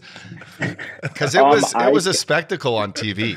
It was, it was, It was quite awesome. amazing. It was awesome. I, I wish he was mic'd up. I wish that if I could have added one thing, I would have liked to, to hear a little like actually what was going on up there. But I know where they're sitting, but I don't really notice stuff during games. I'm I try to be. I mean, I said that I try. I mean, you notice, you know, random things throughout the crowd. I'm sure you boys know Alberta exactly what I'm talking yeah, about. Fights so, uh, everywhere, yeah. um, but And I, uh, yeah, um, but they, uh, yeah. Um, so he, uh, I, I didn't really notice too much of this stuff, but second period, like when we're shooting there in that end, kind of by the uh, the Zamboni there, and I do remember Luch was on the bench and he pulled me, pulled me aside like after the intermission or maybe after one of the games. He's like, craziest thing happened, Matthew. Second period, there's nothing going on. We're down one nothing or two one. Building's quiet. Not really like, you know, we need some energy. Kind of like there's there's nothing going on in the rink right now. Nothing going on in the game. Pucks in our end, so the opposite end of where we're sitting. And I must have been on the ice because he's like, and I heard a huge roar from the uh, from the the Zamboni side, and I look, and it's Brady walking up the steps to his row, and he's getting everybody going, doing this with his hands, and like it's like slowly standing out. And I'm like, oh my god, I could absolutely picture that. And then I I noticed that the next few games after that when he was there. Every time he walks up when he goes like the bathroom or goes to grab a beer, fans go nuts. It was crazy seeing how excited they got to see him, and he kind of just like he played into all that too. So Oh, yeah. I think my parents, it. I think my parents were like a little bit like, all right, Brady, enough's enough. You play like your captain. I think they're like, well, you're a captain for like another NHL team. You just sell around a bit, but he loves it. He loves it. No, hey, hey, Matty, we saw him. We came up for game two, and he was nice enough to stop by and, and say hi to the boys. And you could tell he was done. He's like, he's like, we're like, you going to Edmonton? He's like, fuck no, I'm going home, and I'm done. I'm starting to work out. So you could tell that he left it all out there for you. Oh, he left it all out there. He he said he said the main reason why we won Game Seven is the energy he brought. So I guess I'll uh, I'll agree with him. But I, I will say, like, I know I, I didn't hear really about it, but he was kind of telling me that you know people are you know some people were like all over him for it, like saying like how like it's weird he's doing that. Like, you guys kidding me? Like, I mean, we're brothers, we're family, a close family. Like, I would do maybe not the same things but because he's an absolute menace, but um, I'd be I'd be right in there if he was you know if our we swapped lives or whatever. Like I'd be at his games, and um, Totally. it's not like he was. It's not like he was wearing like a Calgary Flames jersey. I mean, he's wearing you know his Matthew Tkachuk shirts and stuff like that, just supporting me. But um, I mean, he wanted to see a. Uh, if it was his team not in the playoffs, he wanted to see a cup parade somehow. So why Yeah, not mine? So didn't happen. So hopefully one day. Totally, and, and real quick, I said to him like, "How much is this motivating you seeing Maddie in the you know in the Stanley Cup playoffs?" So, so for those Sens fans out there, like that's how he's looking at it too. Like when he saw the energy in that building, that's going to fuel B- Brady this summer to work harder. and he is perfect. He's the perfect type of player for that type of game. Like he is the perfect playoff hockey type of player. Um, so hopefully they can, um, you know, grab a few guys around him, and Yeah. um, a couple of those guys can can dial it in too. Because I know Brady leads the charge, so hopefully they can pick up some pieces and um, be a be a playoff team out east. Maddie, we, we, before we get into the Dallas series, just tell our listeners what we were talking about before. Like, you know, I was joking about for me, I, you know, after you lose a playoff round for me, you know, I go on my year end bender. I don't really think of anything. I get back to California. I'm kind of over it. Like, tell us what you kind of, you know, are going through right now and how you feel and how you're feeling now and, and what's motivating you once the offseason starts. Well, I think that right, you know, the night it happens, you're just really frustrated, and um, I know for myself, just try to try to get over it as quick as possible, but it's really hard to. And then, you know, as a day goes by or a couple days go by, you do, you know, your couple nights with the team, with the guys, and you're not really thinking about anything other than, you know, spending some time with them because you know you're not going to have the same team. That's kind of one thing that sucks about this year is the group we had was like by far the best that I've been on. So that was more just, you know, enjoying the nights with them and uh, honestly not really thinking about just enjoying time. Um, but you're still, you know, a little upset coming home, whatever it is a week later. And anytime hockey's still being played, it sucks, I will say. So I, you kind of don't really get over it, I guess, all summer, but especially not till the cup's handed out. But, you know, once, once the cup's handed out, I think about a week after that. So we'll call it mid July. I'll, I'll finally get over it and start thinking about next year. Yeah, let's dive into the. um, I just want to talk about the Dallas series, which you know to me was one of the biggest surprises for for me in the first round. I thought as low score, like as as as high octane uh, you guys were in the playoffs, or sorry, in the regular season, especially you and Johnny. Um, just how tight that series was played, and then the difference in Yeah. you know your first round to second round. But bring me back to like you know these these tight games, one nothing, two one, like just grinding, full defense. You know, playing two two goalies that are both on their game to like switching it up, and then all of a sudden it's like an offensive outpouring. Game one of of the second round is is you know a touchdown but just just like the the mental grind of a playoff series that's low scoring, super defensive, couple overtime matches, like just what that what that sort of series did to you guys uh, mentally. Well, I think that for our team, you know, we we felt that we could play any style, and that probably was the style that was going to make us successful were those low scoring games. But I know for for John and I, we weren't totally used to that. Um, you know, after the the regular season and everything, but after you know game one and two, they're both one nothing games. Well, I guess game two they got an empty netter, but it was one nothing games to start the series, and you're like, well. Can't really get to the net right now. It's like impossible to get a shot on yeah. goal, let alone score here. But uh, hon- honestly, I think that Dallas, and we said it throughout the regular season, we pride ourselves on playing great defense and hard defense, making it hard to get shots, get to the net. And if you know, if I felt we were the best, they're second best. That team, like their defense, are so you know big, physical, and maybe other other than that Heiskanen and Klingberg, but they obviously are very special players. But they're so hard to play against. Their whole decor, their team defense, they were always a five guys. Like we were, I mean, we were joking around not during the season because it was so frustrating, but it was hard as hell to get to the net against them.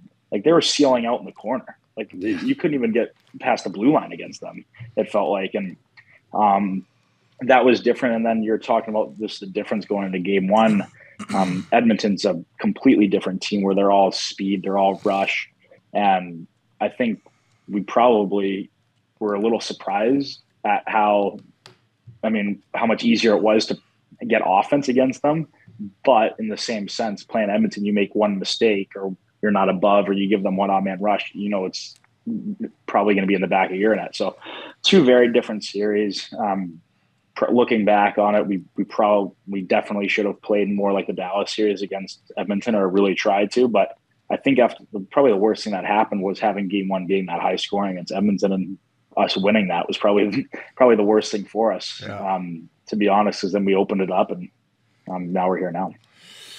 Maddie, on that Dallas series, I, I figured they were going to give you a, a, a series. A lot of people had you guys in five and that. I, I think I took you in, in six or seven, but I figured it'd be tough. When you see a guy like Joe Pavelski and what he's still doing, and and you love going to the net, were you just watching him and and maybe still picking stuff up against him throughout the series of I got to get to that blue paint. That's where I'm going to get rewarded in this series.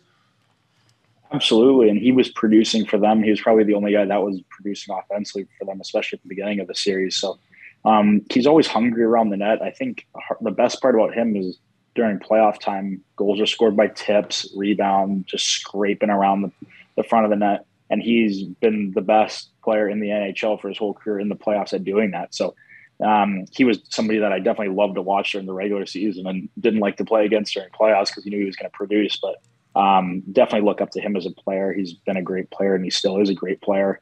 Um, and I think that that was one, like you just said, big lesson for myself and the rest of the guys to learn from as a guy like him and, and how to produce in the playoffs and just how to play. Did the boys notice the blonde behind Rick Bowness in game? What? No, what game was that? Was that game three or what? Game, what game was that? That she was. That was Yeah, that- we got- you know we who that got is, our, right? uh, It's Yeah. Paul Conway's We- girlfriend. Yeah, I know. Did the boys notice her? Of course they did, right? Of course. Um, I, I can't speak and if we noticed her during the game or not, but there was definitely You all like how- over social media after, and then um, obviously we're we're known beforehand or saw and Eh. somewhere I think it was Instagram or Twitter that there was gonna she was gonna be there again for game six or game Yeah, four yeah. or whatever. So I think uh, yeah, the Dallas players, I'm sure those guys were pumped right behind the bench. There's enough distractions in Big D with the ice girls, the girls in the crowd in general. You, you stick a blonde behind the bench, like I would have been fucked. I would have. I, like, I would offer seats behind I would have bench. put her behind the Flames Yeah, bench. though. what I wouldn't have stuck her behind the Stars bench. I would have been like, here you go, Although- Oh, boys. it was, oh, it's pretty funny too because I saw that. Uh, I saw that. Um, obviously, that happened in Dallas, and then before Game Five um, in Calgary, um, Cowboys. You guys Yes. are very familiar with them. Oh yeah. Um, sent in like five. I, don't know. Let's call. They sent in the artillery. They Five sent- of the, five of the girls and put it behind. Pretty good line. bench, Pretty good but- line. Pretty good line, if you ask me. but but I was thinking about it. Cowboys is like the club is shut down right now still because of COVID stuff, like the actual club. So I'm like, they must have like went around either knocking at doors to find them, like where they're where they've been, or um because like that place is closed. So I'm sure the owner of Cowboys just sent in some of the old ones that used to work there. But I don't know, pretty funny. Yeah, they've been. There's been a lot of that in this playoffs. I'm sure the the business, uh, you know, for the for those females, those five that were there, they're probably looking to get back in the in the swing of things. So they're so they're like, let's start here. Summer's Yeah, just around the corner. Stampede's around the corner. Let's get the girls back out on the tube here in the yeah, Stanley Cup yeah, playoffs. maybe maybe it was a stampede little um, you know publicity move, but would have been great if we would have kept winning, and that would have been like the turning point for us that series. I would have been very happy, Yeah. very happy for that to be the turning point. That would have been funny. Yeah, when I found out Cowboys wasn't open when we were coming up there, I almost had a meltdown. It was supposed to snow before game two. Cowboys was closed. I'm like, fuck, are we really Yeah. going up to here to Calgary here, boys? As much as I love Maddie and the boys, but um, Maddie, I, I want to ask you about the last thing on the Dallas series is the is the game seven where you guys just peppered and Oettinger played unbelievable all series, and so did Markey. But as a guy that was sitting on my couch that had money on you guys to, to win the series, I was nervous. How were you guys feeling when you're throwing that much puck at them and you can't score, and next thing you know, you're going overtime? Like, what was said heading heading into overtime? Well, I don't really want this to sound like, you know, like cocky or arrogant, but there was not one point in that game where I was like, where I had a thought in my head, like, oh my gosh, our season could end. This, like, there was yeah. not one part of me that thought about that. I was super confident the whole game. And I guess when we were down one nothing, maybe in the second or two one, people would think like, oh, you know, let's get it going. Otherwise, the season's over. But I never thought about even in overtime. Like they had some great chances, and a couple of them I was really nervous because there were some there were some close calls. But then again, I was like, we've played so well this particular game, and pretty much for the whole series and all year, like we do not deserve to lose this game. We do not deserve. But then again, when you're playing against a goalie that was playing out of his mind, like Oettinger was, I mean, we've seen before goalies steal a series. So I was like, I guess that went through my mind a little bit, but our goalie was playing, you know, just as good. So um, I'd say the most nerve wracking I was is was uh, Pavelski had a great chance in overtime where he came down and shot it, just missed wide, and I was like, oh boy, like it was just perfect, like right in my sight line. But um, and then one of my best buddies, Hanifin, had a great chance um, right before Johnny ended up scoring, where the goalie had no stick, and like it, it, was just like mayhem in front of the net. And he made some unbelievable saves. I'm like, oh, this isn't good. Yeah. But uh, yeah, I, I, I, I was never. I never my the thought never occurred to me like our season will be over after this. Like it just never did. So um, I think most of the guys felt like that. And I remember Luch saying after the game, he's like, "We deserve to win that game, but like, gosh, I've you know we've seen stories where goalies have won a series. So that goalie played out. Odger played out of his mind, and you know was was definitely the MVP of that round. Yeah, he made a name for himself, and also for sure, and and, and also just like I'm sure in the in the handshake line when you're going through, you, like just you know giving him a tap and being like, buddy, you just absolutely, you know, you almost stole this thing. Like you just, yeah, you're gonna be a hell of a yeah, player, and, and, and, holy fuck, yeah, you almost did it for no, your I, old boys, you know? And I and I didn't really I realized at the time like what a hard series that was, but like talking to you know Luch and Louis and Toff and all these guys, they said it was the hardest series that they've played, yeah. you know, in their careers, the well, hardest the, playoff series. There was not much there was uh, not much room out there at all in that series, and you know you got to give credit to the LA Kings too. The way they played against the Oilers, they they shut them down a little bit. But no, your series against Dallas, I'm like, fuck, what year is this? Is this 2012 or what? Because it was like we, it was tight. Yeah. Actually, yeah we actually went over i forget what game it was before it might have been before game six or seven it was later in the series you know but you know guys are you know getting banged up. It's been a tough series so far. There's uh, like you said not much room. And we're going over video the morning. I think it was before game seven. And um, one of our coaches is going over and he's just showing you know just just the just the normal clips. You know they're checking hard. They're forechecking checking here here here pinching here. And I remember one clip, he's like, guys, there's not much ice there. Like you have to, you got to work for everything. I mean, look at here. Puck gets chipped in, or D gets hit, D to D, that D gets hit, puts up to the forward, he gets hit, bumps it to like the middle of that. He got he showed a clip. He's like, guys, you got to take five hits before you can even get the red line to dump it in.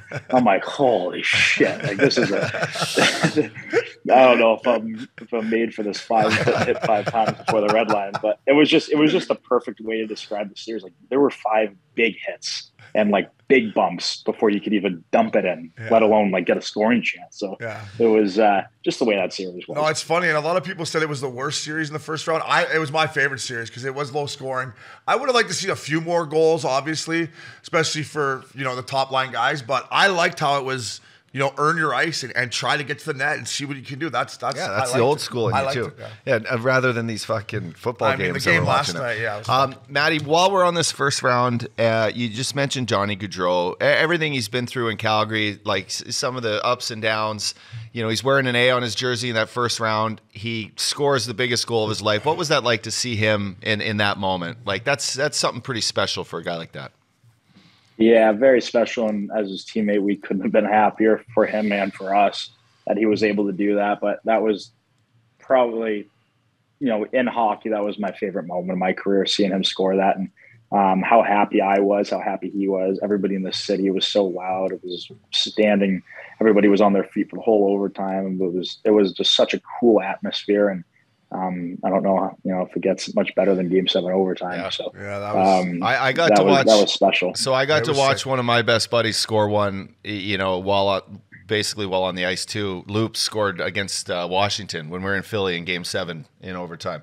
So I, I, I totally understand what you're saying. Like seeing it live in those moments where it can go either way. Season's either ending or we're moving on, and your buddy scoring a big goal. It's it's all time. Yeah. You'll always remember that stuff. Yeah, it's awesome. Yeah, and I would no. Obviously, our line was was the one out there. Yeah. And so, you know, we were first in the hug him and I was just getting mobbed by the teammates. And you don't really think during that. You're just yeah. kind of in like a little bit of like a like a blackout mode.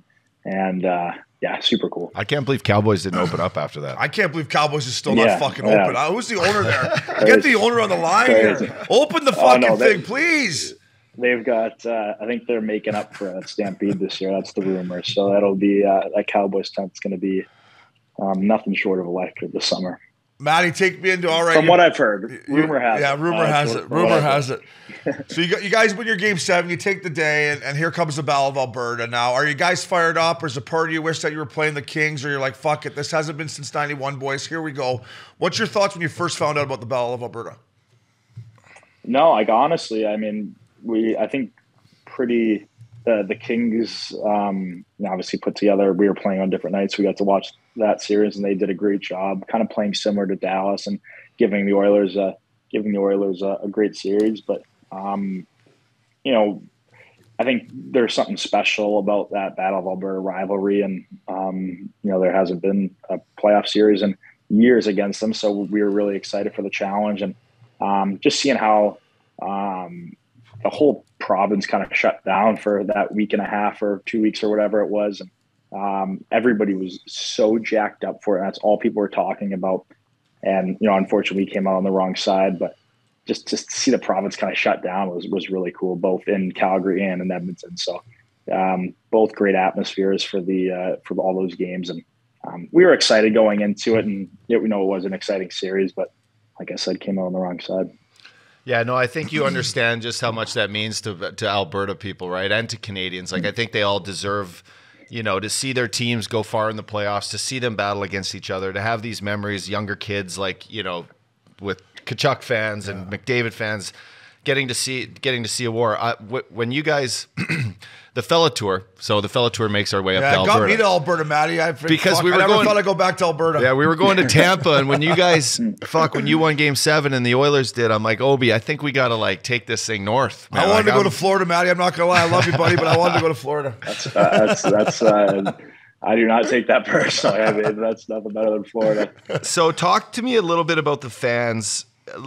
Separate Edmonton and Calgary for for our listeners for a second. Like, you know, you got Edmonton fans. They're a little north. They're a little blue collar. They're a little fucking crazy. Oh, oh yeah. right they're i'm Oh, from the i'm from the north so i can i can jump in on that bandwagon but Yeah. you know and then calgary like you know your fans are super loyal you're you know you're in the Saddledome saddle dome's been there for fucking 80 years um talk about the difference in like the fans the the rinks the atmosphere and just what that was like because you know experiencing the Saddledome we sat right behind your bench. Awesome Yeah. right? But then you go up to edmonton and it's fucking nuts too and like so the, the separate the two and the fans if you can for a sec.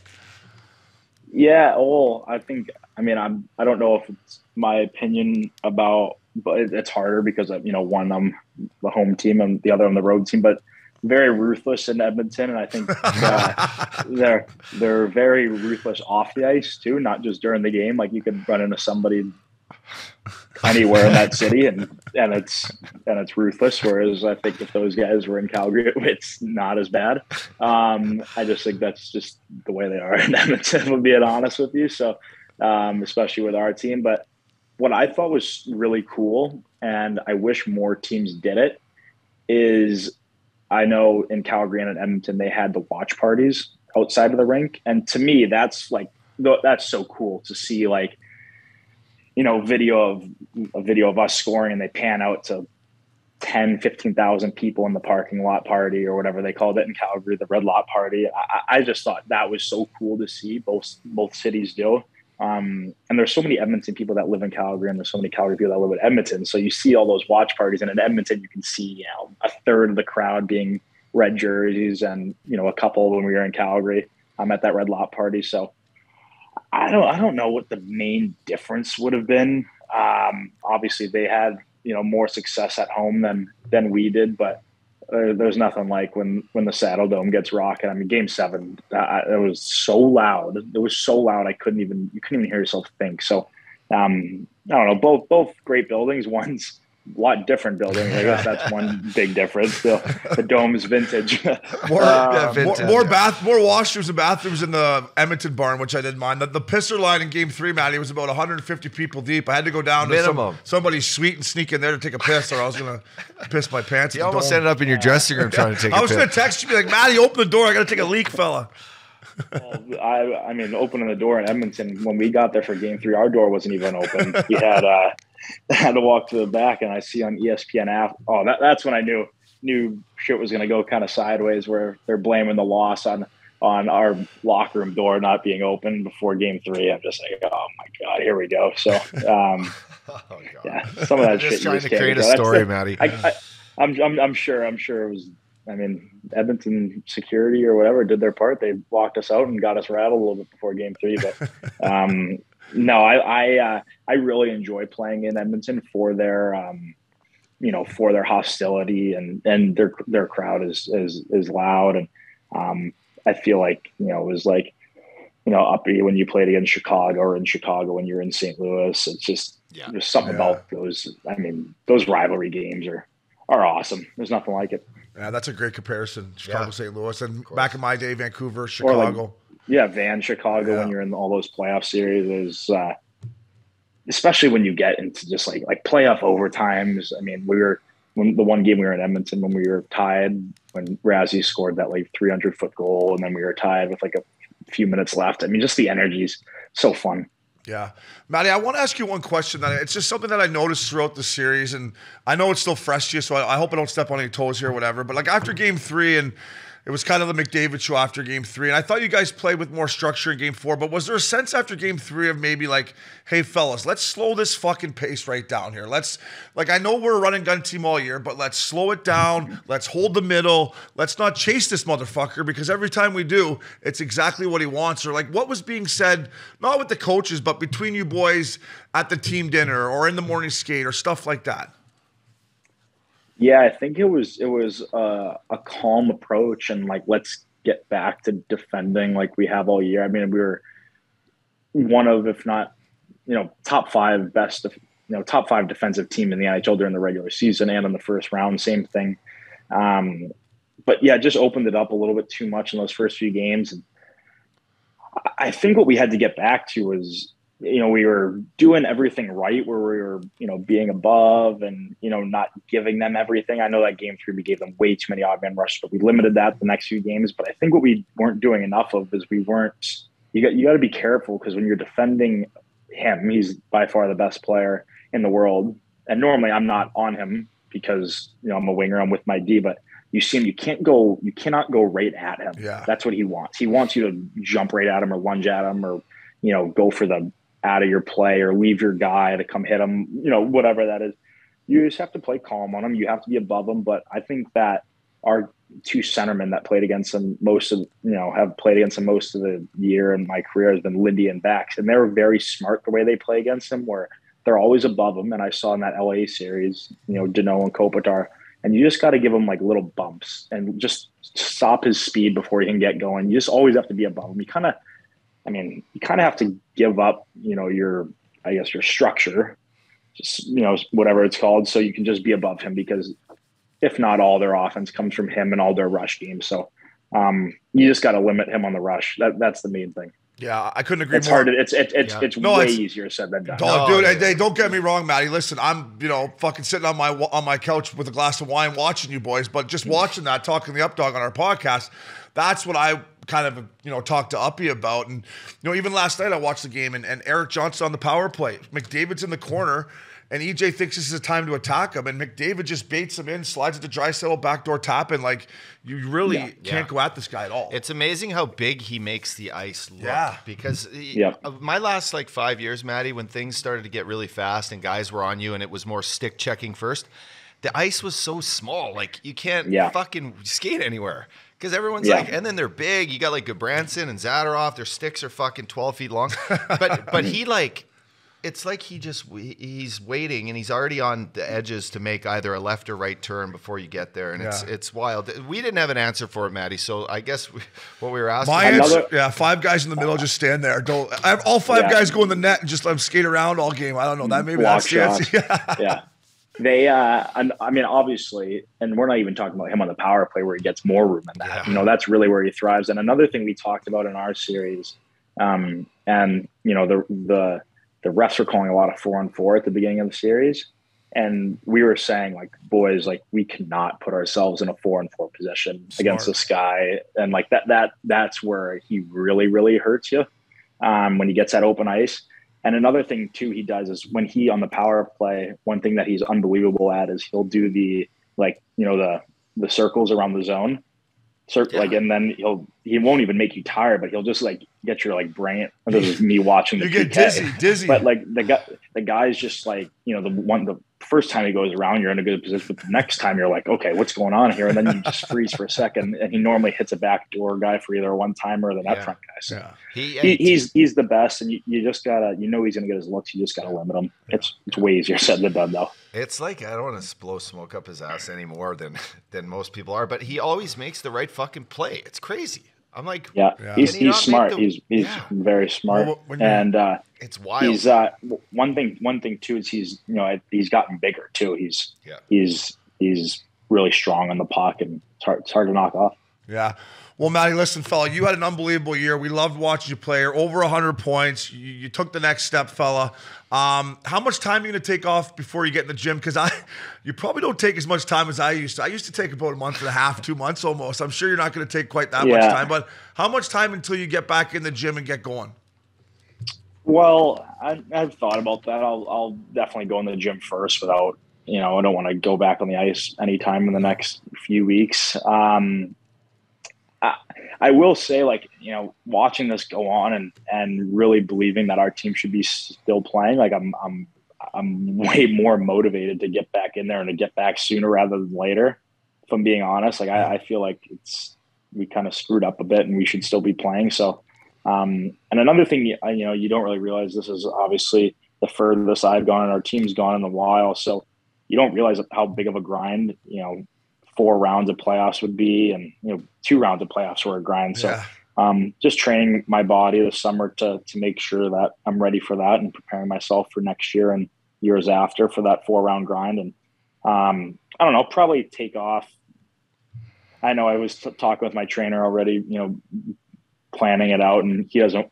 He was actually the one who I wanted to start up next week, take like a week and a half off, and he he said that he'd he'd rather not see me next week, so um, take take more time off after this grind of the year. So I don't know, probably probably take another ten days off or whatever, go two two and a half weeks and be fresh. And luckily for for me, this you know all the all, hopefully all the bumps and bruises from playoffs will be be gone by then and can hit the ground running. Yeah, it's funny you say that because Matty, I only made to the second round three times in my career, and even watching the, the conference finals last night, I'm like, I see them battling. I'm like, if these guys get by these guys, they got one more round of this, and they've already played. Like it's just. Yeah. And I remember I used to be watching the conference finals after I got bounced out, you know, having a good time with this beauty, and I'm like. Fuck, these guys are still going at it, and they got one more round. Yeah. Like, if you really think about Yeah. how hard it is to win that fucking thing, yeah, it's wild.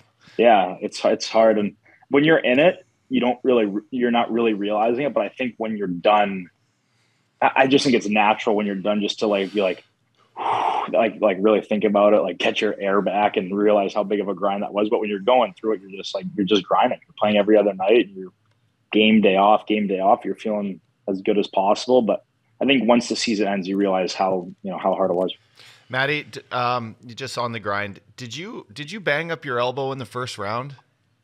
Did you? Uh, did I Um, see you do an interview with? I- and you you kind of were hiding your elbow a little bit. I'm like, I think he's fucking. I did up. a uh, I just uh, in the in the two fights I did the first one Yeah. I you know I fell on top of Remember or said that. fell like kind of on uh, on that raffle um and just the el- you know when your elbow pad moves you hit the ice you get a little bit of those bumps the the bleeding bumps or whatever and then um had a little bit of a, a little bit of a hand thing going um after the or you know through the second half of the year and kind of dinged it up in in the other fight I had but nothing that was Yeah. nothing that was that uh that bad at all. Nothing that actually actually kind of know, a weird a very weird way I put it in my glove and it felt actually better because of it. So um yeah but you know how it is. You don't go through there is not one person that goes through playoffs without doing something without dinging something up or you know, even Johnny's throwing the body around. He's like, yeah, yeah, I haven't really hit this much. You know, the shoulders are feeling a little sore. So,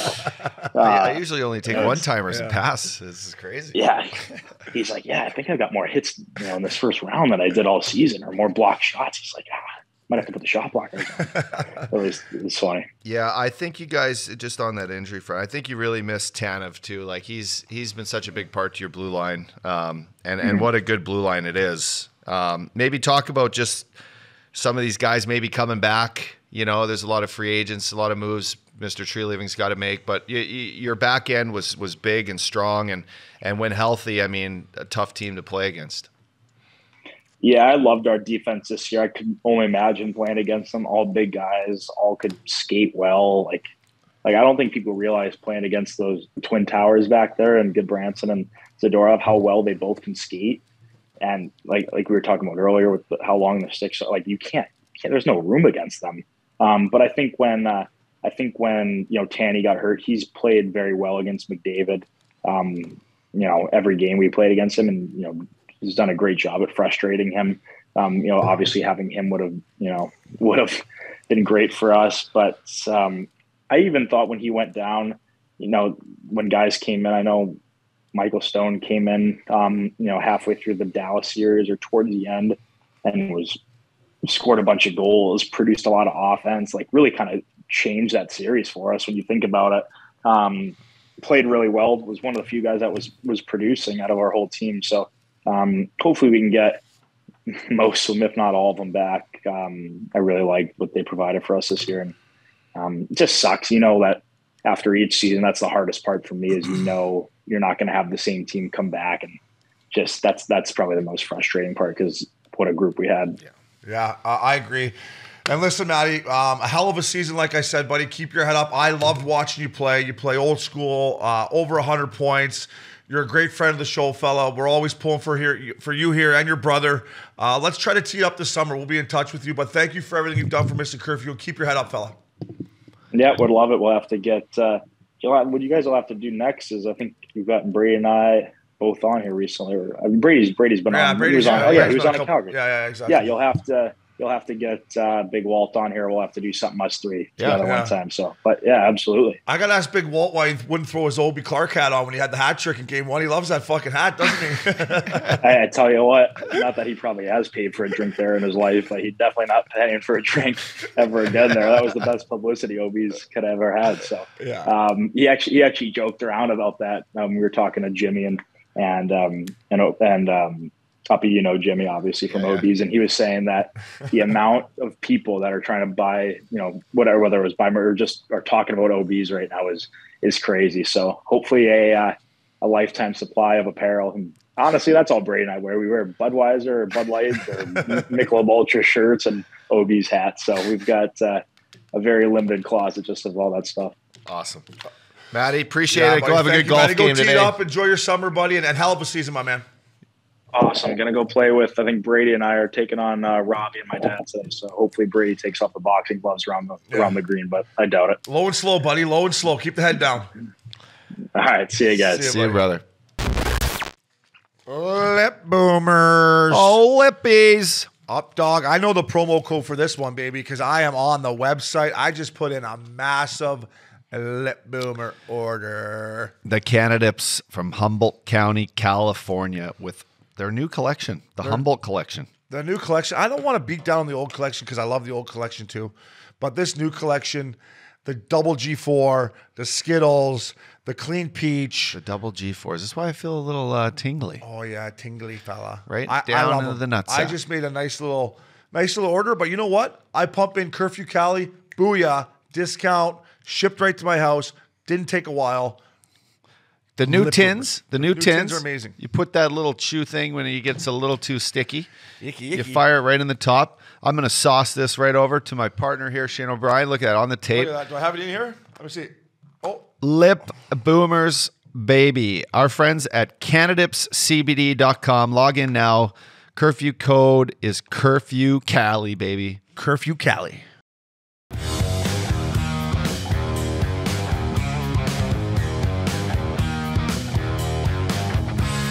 Welcome back to Missin Curfew. Up dog. We got our Vegas Flowers. weekly, Who the fuck is Larry Flowers? Or where the fuck is Larry Flowers? Where were you this weekend, Flowers? Anywhere an NHL player is, that's where he is. That's where you can find him. Hey, Flowers. Fuck, you guys have already been giving it to me. The truth of the matter is that I have I was already planning to go to Las Vegas. My my vacation, my trip was already booked. Uh, and I are chatting up after the series. He was a little down, obviously, and I said, "Yeah, man, you know things are gonna be all right. It's just sad, sad, sad way to, to go out. Um, but I'm gonna go to Vegas." And uh, and he goes, "Well, we just all booked our flight. We'll be there tomorrow." I go, "No shit, I'm gonna be there tomorrow too." Tell me uh, this. You talk about the Blues like they've never won a fucking Stanley Cup. Like, let, us not feel too bad for them. They won a Stanley Cup in 2019. Like, Yeah, but I think we've never won a fucking Stanley Cup. I get it, but I think when you're a team like that and you're that close and you're that and you're built for a long run, Do you think they're the only close team that's ever been like close? no. But a lot of teams in the NHL are super close. their standard was cup or nothing. Um, they felt they had the team this year to get it done, um, and I think they're truly, truly not satisfied with the way the season ended. I mean, they had a great year. Um, I would have liked to see if you watch the Blues in Colorado. To me, that's the Western Conference Finals. That's the way it should have been. I think the NHL needs to reseed, go back to the old school way, let the top, number one seed play the number eight seed, then reseed. That's why you play the regular season. You play the regular season to play the lowest. play to seed. win the game. You do, but you play to So play the worst you're- team. You're thinking what? That it should have been a Colorado St. Louis Blues Western Conference final? damn right. Like if you take the two best teams in the West, is probably what he's saying. Which are you think they would have beat Colorado in the fin- West Finals instead of. I, I don't know. I, I think they're. I think they're both really, really built well. I think they're both built to make a deep run, which they both did. Um, they both have different styles, and, and that's what made that series. That was a great series, guys. That was Yeah. a tremendous series. The Blues are built more. They didn't you know, have get her everybody deep, cycle a puck deep. Where you know Colorado's a little bit more of a run and gun style, and it was a. Gr- I loved watching that series. I, I did. they I didn't enjoyed have that every- hockey. they didn't have everybody show up. well, They didn't. They had there was three. There, let's just say they played what six games, three games. Some of their top guys did. They were they weren't there. I, I I don't disagree. I mean, listen, th- no one would have no one would have predicted that their starting goalie would have been knocked out either. I'm not saying I think Husso did a pretty nice job. I think he, you know, I, they I, I it was a tough bounce the way things worked out a little bit. Um, they found a way to come back and to make it like fucking close. But in order to beat the like the fucking you, let's just say the the regular season champs, Thanks, bud. Colorado, you need your whole squad, Squad. every game. Yeah, you know you just can't take games off. You got to find a way to pick up for your injured guys. Scandella coming back in the lineup was big for them. Yeah. Bobo blocking that shot in overtime. The series was over. Um, losing Kruger was huge for them. yeah, it was. massive, massive. That was a big, big pickup this year for them. He's a hell of a player. Um, but you know what? Uh, looking back, I really, truly enjoyed it. That series to me was good old fashioned playoff hockey, back and forth, tough hockey. Um, I enjoyed it. You owe me a ball of Camus. I do. I thought you forgot about that. Oh, fuck. It's right here in my notes. It's, It is. right here on my notes. You'll get your bottle. And uh, Jon Hamm was me and the Updog dinner in Hollywood. He does. You can come too. Oh, We Well, bet. we do. the Yes. hammer. No, no, I bet him, not you. No, it's okay. I said, I said, John, I'll bet you game 6 I'll split the check with him. I'll I tell said him. game six. I go, me and Uppy are big on team dinners. Uppy got Jon Hamm to come on Friday morning. Yeah, I know. You Blues fans were all fired up after game five, including Jon Hamm. He was fired up too. So it was great talking to him. But I bet him, I said, listen, I'll bet you. I didn't want to bet him a series. I just wanted to bet him on that game because he's such a legend, right? I'll bet you game six. He said, I'll bet you a team dinner. In That was the right Nice. bet. I don't know if he'll do They're it. at home. You got to they hold had, to it. They had the game. I mean, I watched. It was it was very very heartbreaking. Five like seconds. to- Five seconds. Darren Helm, like make it MacKinnon or someone to score. To like go- Fuck, sorry, that's how you got to win series. I Like know, I get it, Helm, but Darren like, Helm. who the fuck is out there too on the on the blue? Like, To go from that's a miss. That's a fucking fuck up again. To go from that high to that low only happens. I mean, that's almost like a one in a million, right? Fuck, that hurt. I mean, it was. It And you can't go higher and you can't go lower in a series, right? Yeah, yeah, yeah. When well, yeah, that's that's hockey basically. You I mean, know- the best game of the series they played was game two. Yeah. If they would have played the way they played in game two for the whole series, they would have won the series. Yeah. They didn't. They played not very good in game three. Yeah, but then, They didn't play very good in game four. Tip your cap to They got outplayed in game five. Now, give the St. Louis pre- credit. Resilient group. What they did in game five, I sat with this beauty sitting right where you are there before the hammer came on, and I went, I'm concerned. I am concerned with Kuemper. I'm concerned with the character in the St. Louis Blues dressing room, Ryan O'Reilly, Perron, all the list goes on and on. I was really, Yeah, really yeah, worried. yeah. But if you want my God honest truth, and it has to do with Krug being out, the Binnington injury, whatever, it should have been over in five. It should have been done. Yeah. Like what team comes back from three nothing in the third period? Yeah. Only the St. Louis Blues. Yeah. yeah. Like, or maybe Connor McDavid and the Edmonton Oilers. Like, They'll come back from nine nothing. yeah. But that's- like, that- there's that- no way they should have came back and got that game five and one. But and that- they did. that- that's I a- was like, oh my god, here we go. That's what gonna makes that team special. They've got the they've got the experience. They've been there. They're like, hey, let's just keep rolling. Let's see if we can get some pucks in, and let's see what happens. And they did. Thanks, Bingy. Hell of a series. Hell of a Um, series. Hell of How a did- series. How'd the boys get to Vegas? They PJ in it? I think they took a PJ. Yeah. the whole team. uh, most of the team. Yeah. How many guys? That's a good I don't- squad. I think it was. Who didn't go? I want to rip him on the Oh, pod. I don't know if I could say that. Who didn't go? Yeah. You can't say that. Is that did you, did you have No, to, I just- did don't you have to sign an NDA? I didn't have to sign an NDA, but I, think I don't want to put that laundry out there. But um, They had to the sign- Let's see if. I can guess who didn't go. I'm going to try to guess. Uh, Tarasenko, no. Buchnevich, no. None of the Russian connection went. You can wink if I'm right. oh, I'm wrong. Shit. No, I think Buchnevich would have went. I would say one thing. Okay, hold on. Let me keep guessing. Bozy, of course, went. He's the best. he was ripping me the whole weekend. It was great. We told him to throw I'm gonna the say. pool. I'm gonna say was- Parenko didn't go. Branko goes. He goes. Yeah, he goes. Um, fuck, I'm over. Who didn't go then? Fucking Calle Rosén. Did Calle Rosén go? No idea what that is. They just they just signed him to a two year deal. You know what he got in the minors? 400 and 450. That's what guys are making in the minors now. Inflation. I would have still Inflation. played in the minors for 450. I would have rode the bus all over God, North America. I- I'll just say this. That Buchnevich Brent is saw it. Brent- awesome, awesome guy. I would Brandon- hang with him any day of the week. What a beauty. Brandon Saad didn't go. I don't know. 100% Brandon Saad didn't go. I'd say he went. No, no. didn't Part of the group. Shenner, of course. Fact Daddy, of course. Thomas, yeah. Kyrou, yeah. The Aussie, of course. I mean, they got a team. Nick Leddy didn't go. No, he goes. He's a he's a beer drinker. He Wow, like, he he's a goes- good guy. I had beers with him in here. Wow, what a He's squad. good guy. He's hilarious, So you're right. What a squad. They got a good squad. I, went, They I, have- just, I just went through the whole team. I know they got a good squad. I can just, I, I'll say this. Perron and I were chatting up a little bit. He just was looking around and he said, Flowers, look at this group. What a special, special group. Um, had some choice words about his about his teammate that were incredible. Um, and it, it was nice to hear something like that. You know, I could see I, I could see Perron I could see Perron signing for less in in uh, in St. Louis. I, I really can. We'll see what happens. He's so he's so good, man. Um, I would love to see him re-sign with St. Louis Blues. I, I think, um, obviously, I've got a special relationship with that group more than any other team. I don't, but I see what I, what from what I see, they have a really, really special group, um, and I'd love to see Perron re-sign with them. The question is, do you have that special? If if Rob Bortuzzo gets traded, do you still have that special bond with that group? That's a hell of a question. If they trade him and Shen, you don't. No, the people they would forget about Larry Flowers. I think if they, I, I, I don't, I don't think they're trading Bortuzzo with that deal he's got. I mean, he joking. he paid, Bobble, he Bobble, signed for way too much. yeah, you- but- I told him. I told him. He did. uh, I told And him he knows it. Season. I said, buddy, you, you, the guy, the way he plays, the way he plays, he had an opportunity. He's making nine fifty for the next two years. It's it's fine money.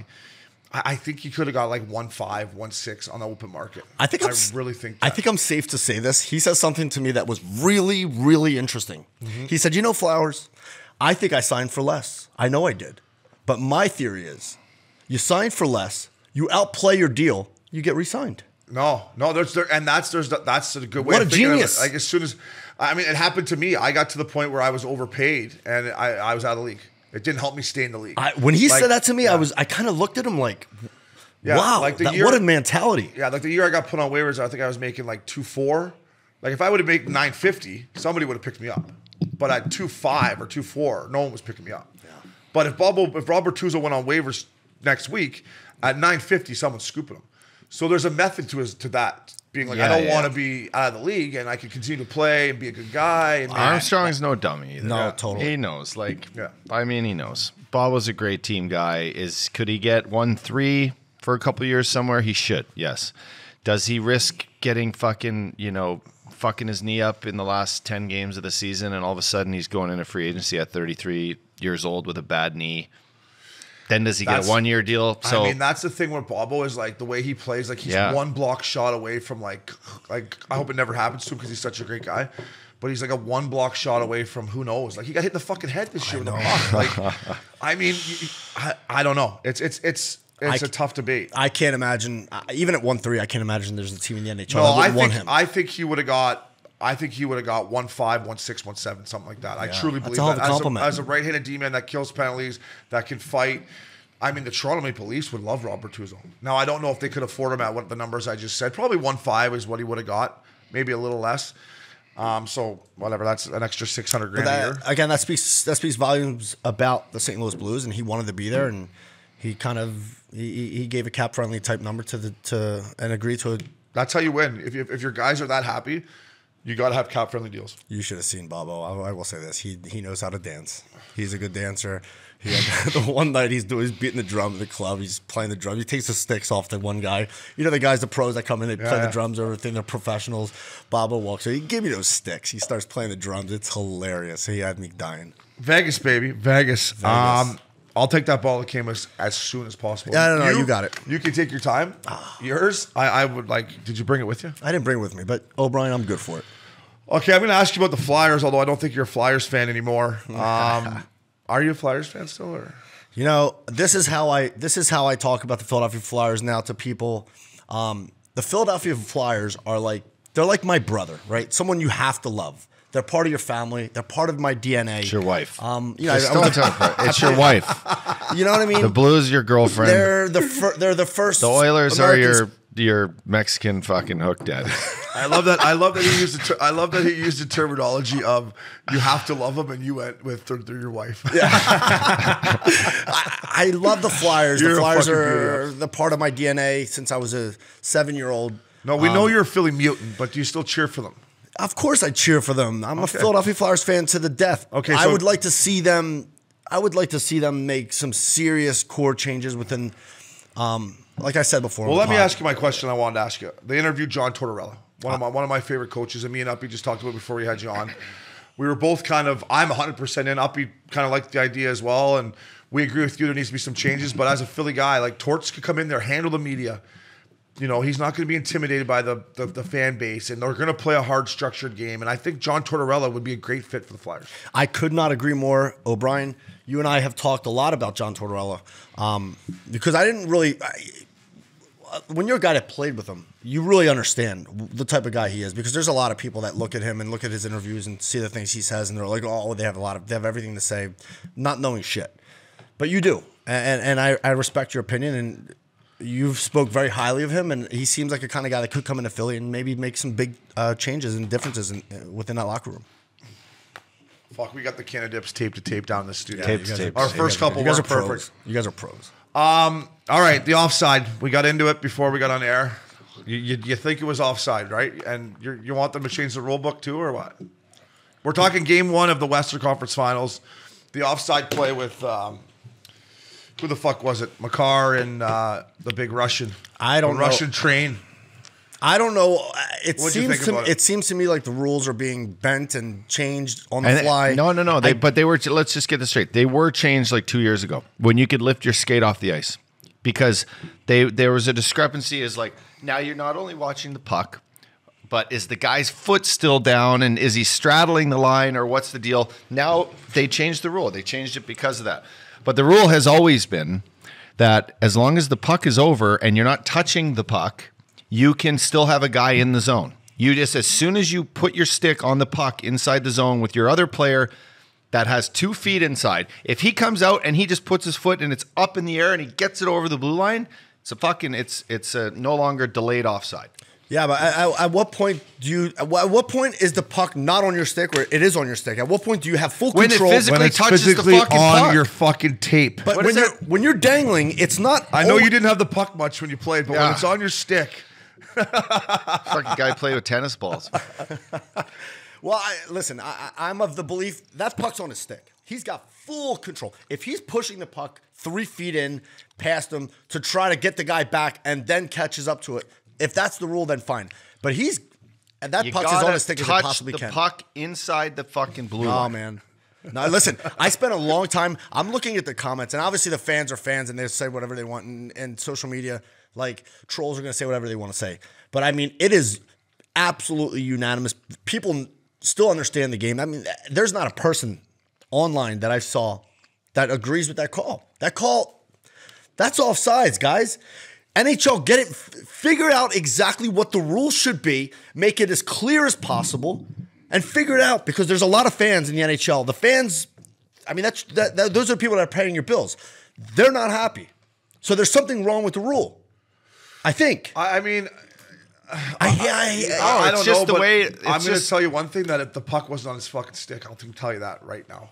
So I, I the- all the rest, I don't really give a fuck about. But he didn't have full control of it. so you're saying when you go backhand the forehand for that split second when the stick's Yes. over the puck, it's not on the puck. It That's isn't. It's the dumbest thing I've ever heard in my life. No. Guys, come on. It's like in anything. Touch. The, it's like in a golfer. Is the golfer addressing the ball or did he fucking touch the ball? Fucking dummy. He's comparing like, it to golf. It's like, are you finger blaster or you're rubbing her leg? That's What are like? Flowers. He's always like, "Yeah, I hooked Are up with her. I hooked finger- up yeah, with her." yeah, Are finger blaster? You're rubbing the inside of her leg. You rubbed her inside of her leg, but you told the boys you finger Yeah, blaster. exactly. You didn't, bud. No wonder you hook up with so many girls. You're both fucked. Hey, it's not t- unless you're in. You're, You're in. not in. Unless you're in, you're in the fucking way, Flowers. All right. Um, Tampa Rangers series. You're a Philly mutant. I love you, but you're a mutant. You've been all over the Rangers. So do you want to stir the pot with our Rangers fans or what? just, you know, I- you, you, you told me last night that they they're, they're shit. The Rangers are shit. I mean, like, I was being, I was trying to get you going just a little bit. They're not shit. uh, I would personally like to see Sidney Crosby in this position right now. I was hoping the Pittsburgh Penguins would have gotten, would have moved forward so they could play. Carolina. You know how the playoffs work, right? You have to win to advance. Yeah, you yeah, can't yeah. just hope teams get in. Like, Oh, oh, uh, Uh, like there's things that happen through the course of series flowers that change the series. So that's why the Pittsburgh Penguins aren't here. yeah. I'll put it this way: Good luck, New York Rangers against the Tampa Bay Lightning, because they are going to roll them. You mark my words. That team is going to roll them. They're they're they're rested. They they play. They're not only they're not only high powered offense, but man, they play D. They play composed. They know how to win. Patty Maroon, he's he's playing for a fourth fourth fucking cup. Four in a row for the Four in a row. Could you imagine? I, I, The I, big I rig. Did you boys? hate- I see Tampa Bay so close to like hoisting that thing again. Like, And they you, you you said something to me. they're the best that- team left. You said the something. best They are. That you said something to me the that best that I team. I will never forget. You said now Team. now they can taste it. And when you can taste it, in, can- in the beginning of the playoffs, they, they came out a little taste it. slow. You're like, well, let's see what we're gonna do. What do we have left? But once you start to taste it, Yeah, yeah. Man, Jesus. He's licking his fingers. I know. fucking- Ah, I can't. Yeah, yeah. Do I you can't uh, it. did you hate Rangers fans? I want Rangers fans to kind of. I want to get like a social clip to where like the Rangers fans can get on you. So did you hate Rangers fans? Like growing up, or do you hate Rangers fans now? If, if we took you to MSG and you saw Rangers fans as a Philly guy, forget about you know where you are now in life. Back in the day, did you hate Rangers fans? I've always hated Rangers fans. I still hate Rangers fans, and I always will hate Rangers fans. They're painful. Okay. They're so they think they're we're New York. First of all, half the Rangers fans live in freaking Jersey. Fuck's sake, um, which pisses me off. Just like the Giants. Here we go. This is what we want. Um, Yeah, it, it drives me crazy. You know. Or it- fuck all your girlfriends down in Margate. yeah, right. It's the other way around. First of all. Okay. yeah. None of the rich guys from Manhattan are fucking I know your they girls, come, eh? they come down their polo shirts. They come down to Margate for the weekend, thinking they're cool. Talking to them like my South Philly girls. They go to like, the Hamptons. They full on inner they- city girls. They're they like, don't go to Margate. They go to the No, they, Hamptons. they, they well, no, a lot of them do come to Margate, and they do try to, they try to, you know, they wear nice watches, um, and they try to talk to our South Philly girls who don't play that game, and they're like, get the fuck out of here, go back to Manhattan, go fucking sell your stocks. Princey used that as a social clip. All right, Flowers. Um, what about watches, buddy? Me and you talk. Some of our beauty listeners out there, what can they get? Can they hit you up, or you're, you know, how do they find out some ideas for some good prices if they don't, you know, can't want a rolly, but something that you know looks National League stuff like that? Can they hit you up on stuff like that? Yeah, that's that's a gr- flowers. this, is, this is Eye of the Tiger. this is Eye of 'Cause the I Tiger. know, I know, if I wasn't playing the show, I wouldn't be able to afford the shit that you're selling. So what, like, what? Yeah, I still don't can't afford the shit you're selling. So you know, I, I like to keep my my social media like I- obviously I want to do the show off watches, the high end stuff, um, the big diamonds and stuff. But a lot of people have the misconception, and I get DMs all the time, like, "Hey, flowers, like, man, I, I you're beauty. I love what you do. I wish I could afford a watch from you." And I'm like, "Oh, like." I do sell lower end, high end pieces, Breitlings, IWCs, um, Hublot, and stuff like that. Um, all someone has to do, honestly, is send me a link from a website from like IWC, for example. I get big discounts on those pieces. Um, I do sell them all the time. I just don't promote them as much. Maybe I should. Um, That's even what enga- Missin Curfew's for, bud. yeah, even even even engagement rings. I, I can't tell you how many guys call me like, "Hey, I have a budget of five thousand or ten thousand. I'm sorry, I, I'm sure you don't, you know, work with a, you know, with a pigeon like myself. They call, and I'm like, "Hold, hold on. Like, I'm a Northeast Philly guy. Like, I don't come from anything like that. Like, I'd love to help you. I prefer to help you. Um, just you know, I, I I like helping people, but I do sell pieces that are not as expensive. I, I absolutely. Okay, flowers. Break down for for a second here. Obviously, the the stock market's complete dog shit. Yeah. Um, you know, inflation, all this stuff. Jewelry. Dick's di- foreshadow and and uh, forecast. You know, someone invests in jewelry right now. Safe to put money there? Is it like buying gold, silver? Fucking, I ding my watches up all the time, so I got to take care of them. But what do you see like the jewelry? Like, because obviously the market, um, the last couple of years, the watch market has gone crazy. Um, you know, you wanted a Rolex two years ago. The same Rolex now is double, maybe triple the price. What's what's the jewelry market going to do Yeah. in the next little bit? That's a great question. Um, well, I would have to say it depends on who you're buying from. It depends on the prices you're paying. Look, a lot of these big time jewelers and these really nice jewelry stores, they have massive overhead, and so they they they have, you know, th- there's numbers that they need to meet, and there's there's prices that they're kind of. How do I say this? I, I just don't take advantage of clients like that. Um, I'm a Just hit, girls, eh? So, hey, but, hey, I'm a hit singles kind of guy in my business. If you buy your jewelry well and you're buying good quality pieces, you're putting your money into from one pocket into the other. I again, I I, I work off singles, so even with watches, uh, engagement rings, custom jewelry, if, if you're if you know who you're buying from and you can trust that person that you're getting the right prices, then you're doing fine. Um, there's there's I mean if if you're gonna go out and create a big your initials with diamonds and all this nonsense, custom funny stuff. probably not. You're, you're probably gonna have a hard time selling it. It's probably just gonna be like melt when you get a sell. safe but to say you buy you buy the right watch, um, you invest in the right piece. It's pretty pretty safe to keep your money there. I'm very very big on advising my clients on smart purchasing. I have good conversations with those guys, with everyone that calls me about where they're at um, financially and where they're comfortable spending, and I try to help them make smart purchases. It's a very very important integral part of my business, and I take a lot of pride doing that. You've you've heard it here first. He's wants people to make smart decisions because that's what he does all the time. Well, no, I'm just trying to make everyone make decisions unlike what I've made my whole life. Right? Flowers, always a pleasure to have you in the studio, my man. Um, I think you should go get an IV, probably, right? I do. I didn't even faint last time we got the IV last time I was in here. Finally, It was- I, I mean, I had to do a whole breathing like. How many nights were you in Vegas for? I was in Vegas. I got in Saturday morning. I left Tuesday. So Tuesday. three nights. Three nights. Three nights almost killed me over the fellow tour. So you're in better shape than I was. That with the three nights over the All Star break, I was so in one. I'm going to Top Gun tonight. Wow. Top Gun. Top Gun. Have you seen it yet? At Big of Edwards. course, I saw it opening night Thursday night. You night. did? Yeah, yeah, yeah. Want to go again? I would go again. Who'd you go? Who'd you go see with? Um, Are you sticking I- down a here couple for the people, game? A couple people. I might. A couple people in my building that I. Oh, yeah, yeah. Co- So so so Cody. I'm seeing it Thursday. This is great. This is great. Cody Leibel, who's my movie partner for 15 years. I mean, we've seen more matinees. I mean, more matinees than probably anyone in the country um, over the span of 15 years. Uh, he literally flies home to Toronto to surprise Yeah, his dad, Lauren, Beauty. to watch Top Gun, which is absolutely legendary. Um, but while he's in Toronto, he sends me a text. He goes, Something's coming at you right now. Check your email. I go to my email. He goes, I just got you six tickets to Top Gun tonight, just so someone, just so no one's sitting near you. so I had six tickets. I brought three friends from uh, from my building, went and saw it. I'm And the- fired up to see it. It is, boys. It is the real deal. Yeah. it's incredible. It's smashed box office numbers, um, and you're gonna enjoy it. I, I'd love to watch it. With yeah. I'm going Thursday with my boy Cramper. We're gonna go. Fucking right. go It's it. incredible. All right, Flowers. We appreciate you stopping by, fella. Love you, boys. All right, brother. Yeah. Looking good. Up dog, the weather's. I mean, we're spoiled out here. The weather's always nice, but over in New York and the Midwest and up home, it's getting nice. Get nice. Time Get for the good fresh, life tees. tees. Break them out. How about some shorts? Love their shorts. I got like this uh, the new corduroy short they got. Little, it's a little high. Show You off don't the mind- quads. You don't mind a little high short. Though. I, don't I wore them the other day to You Big Guy's. Uh, well, I had one on at Big Guy's uh, birthday party there. Got to say.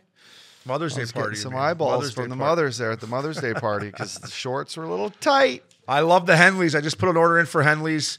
Um, they got lots of great spring colors. Up dog. I felt like I was looking at your closet. There was pink and light How blue. about and this one I got on? Ah, This that's is like nice. the olive. So get the Henleys, the spring Henleys for people up in Canada. Playoffs are here. Starting to get nice. Got to get some new gear from Good Life Uppy. It's true, true, true. And opening and expanding their uh, brick and mortar business uh, with a store in Newport Beach. Love it. At Lido Marina. Can't wait to see this store in action. We'll go there, get our coffee. I was just gonna go say that. walk Coffee, around. get in there, have a peek. Bring little Riley, my dog. Yeah, that'll be great. So Good Life, check it out. What's that promo code up, dog? Curfew.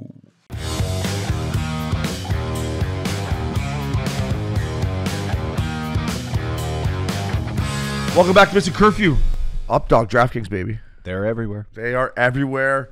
Um, we're And- loving it. We got the parlays humming. We got this and that going.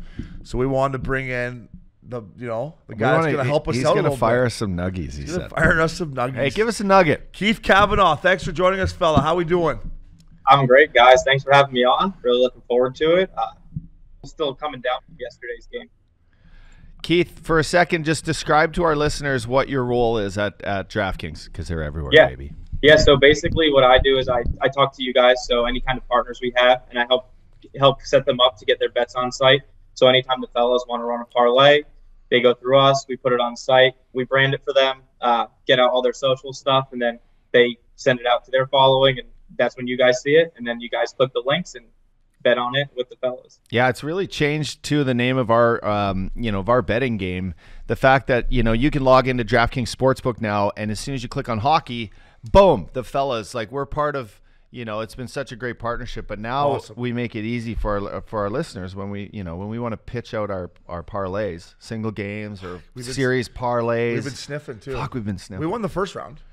We did. We got the first round parlay. Yeah, we won. We the- hit that. First How we? was How, yeah, how we been doing?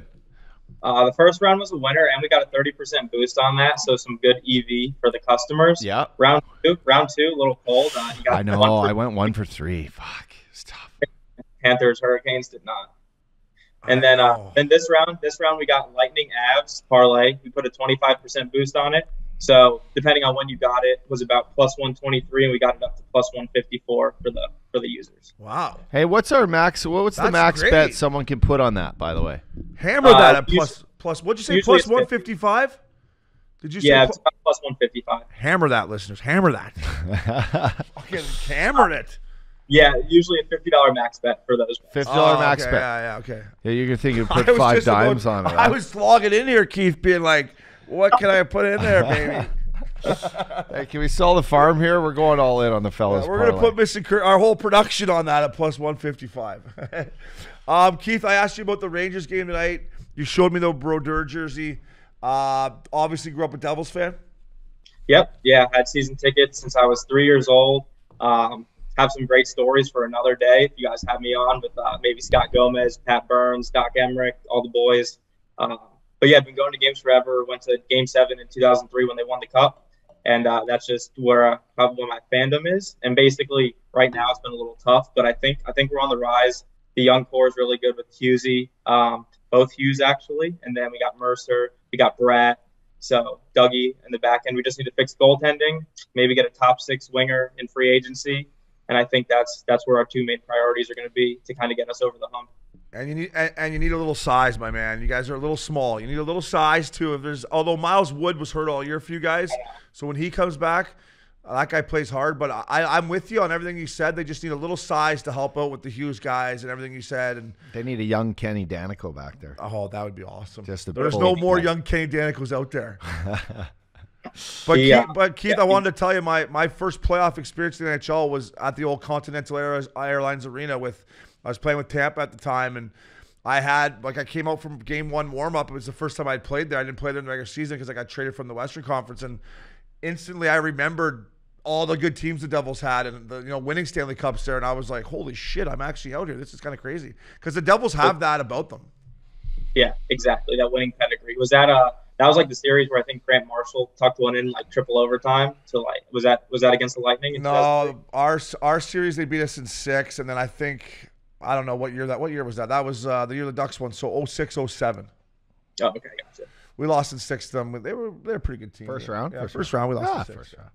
But yeah, going back to the size comment, you look at what the Rangers did this offseason, right? They added some real size. They got Revo, they got Goodrow, and I think like solidifying that bottom six for them is kind of what's really helped them in the playoffs progress to where they are right now. Fucking, they, they're without Sammy Blais too.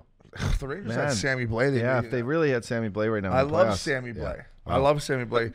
Um, Keith, let's talk about first of all, like Uppy said, we love our relationship with DraftKings. Missin Curfew wouldn't be what it is without DraftKings, and we were really excited about the Ontario launch. Obviously, we got a lot of fans and listeners up there.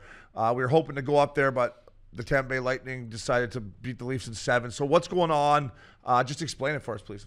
Yeah, no, it's great. Um, we're officially launched in Ontario, full full forces. Um, took a little while, but we got there, which is fantastic news. Um, like you mentioned, it would have been great if Toronto had won that second round because then we could have had a big launch party in Ontario. We could have possibly went to a game, done some uh, live streams at local bars there. Um, but basically, our, our big offer we have right now for new customers, uh, they must deposit at least $100 and they can get up to 2500 back in bonus bet if their first bet loses. Uh, terms and conditions do apply, but that's our big offer right now for Ontario. Wow. So you put in a hundred bucks and you just pick some phony team to lose, and then you could win up to twenty five hundred in your account. Depending on how much you wager on your first bet, if it loses, you receive that back in a bonus bet. So if you were to wager Ah. two thousand dollars on your first bet and it loses, you get two thousand dollars back in bonus. So it's go big or go home because it's a win win. Exactly. Fucking rights. Yeah. That's why I love DraftKings. There DraftKings. you go, DraftKings, baby. You got me hooked. Um, you also were telling the boys this pretty cool thing now. Anytime overtime goals, Keith. Yeah, so that's our new market we have up for the next two rounds in the Stanley Cup final.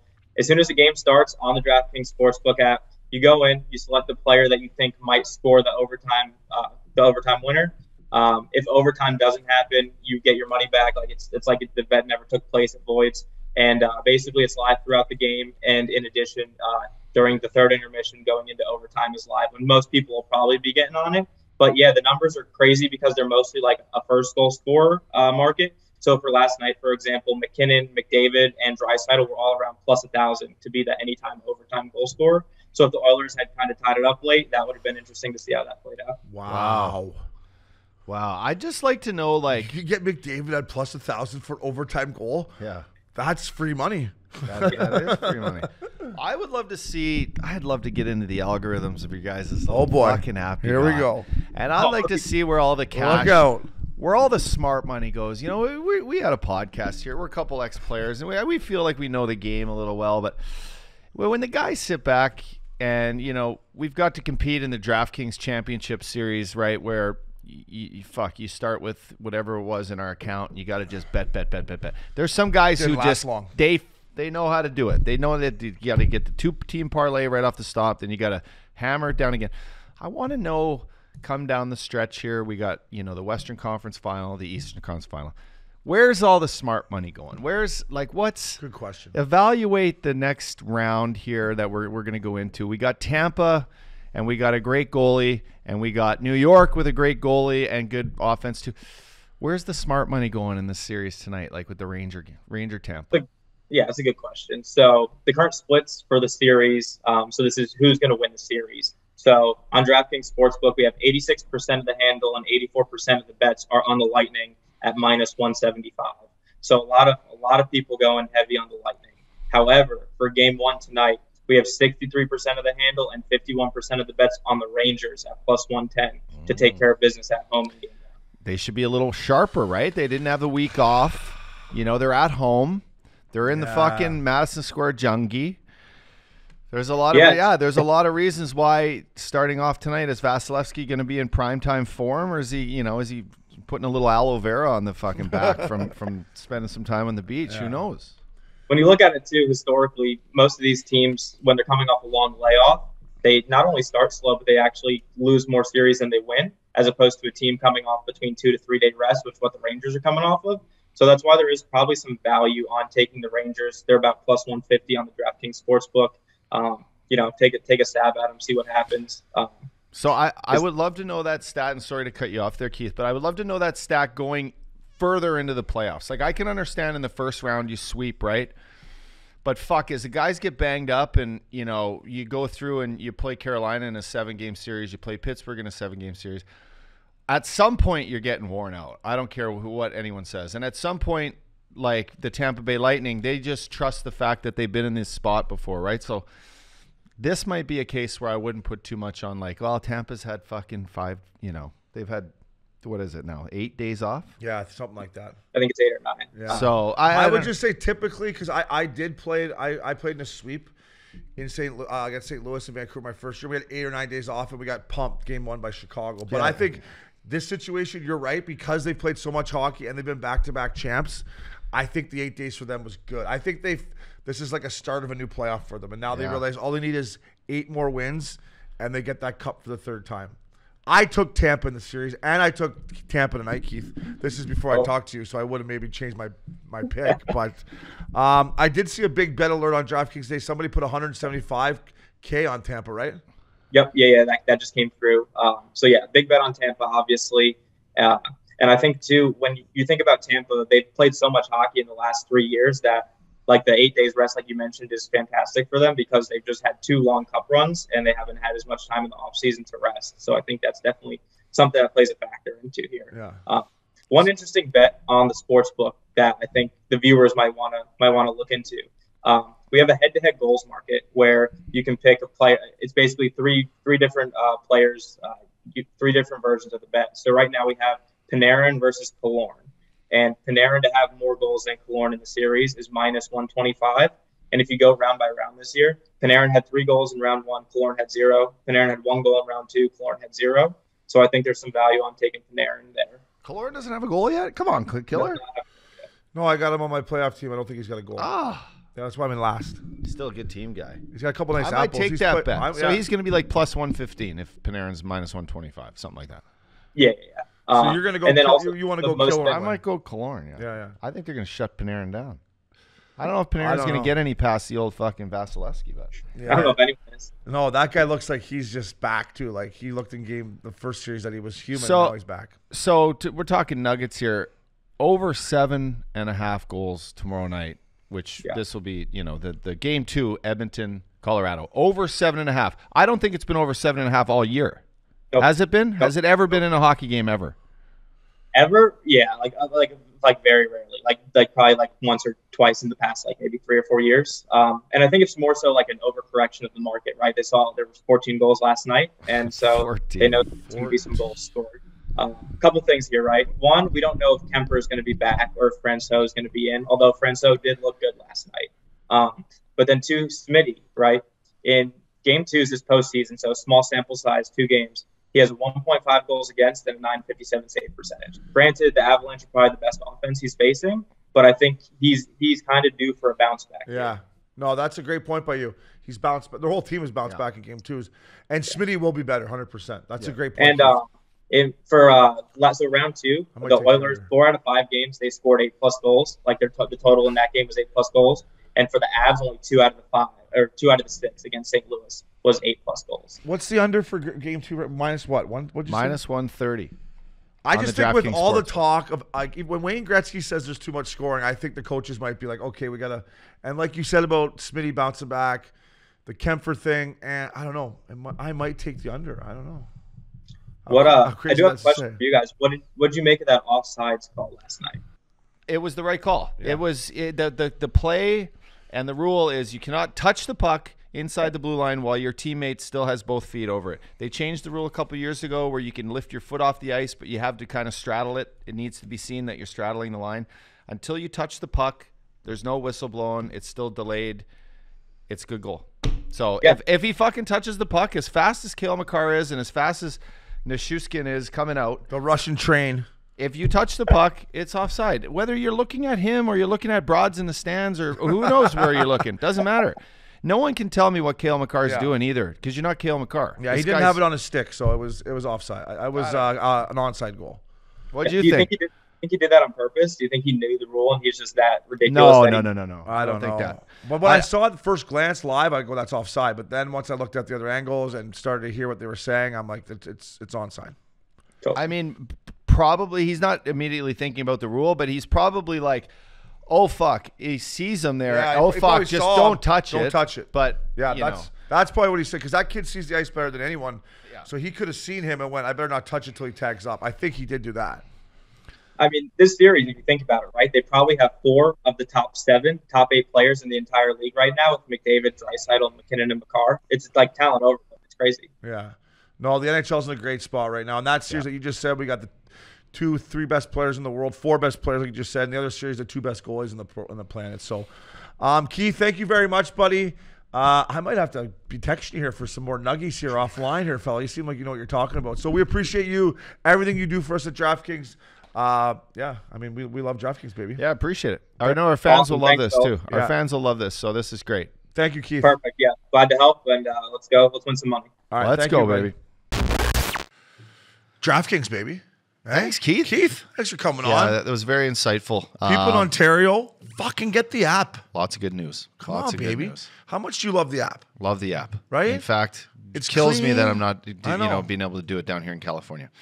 I often sneak up to uh, the mountains to get to get a couple bets. Well, anytime we go to a state that we have it, we're always we're always firing it. Yeah, or you, you know, you connect in uh, in Atlanta. And I may or- I may or may not have some people in Colorado, Denver, Uh, precisely. you don't want to be talking about that. All right.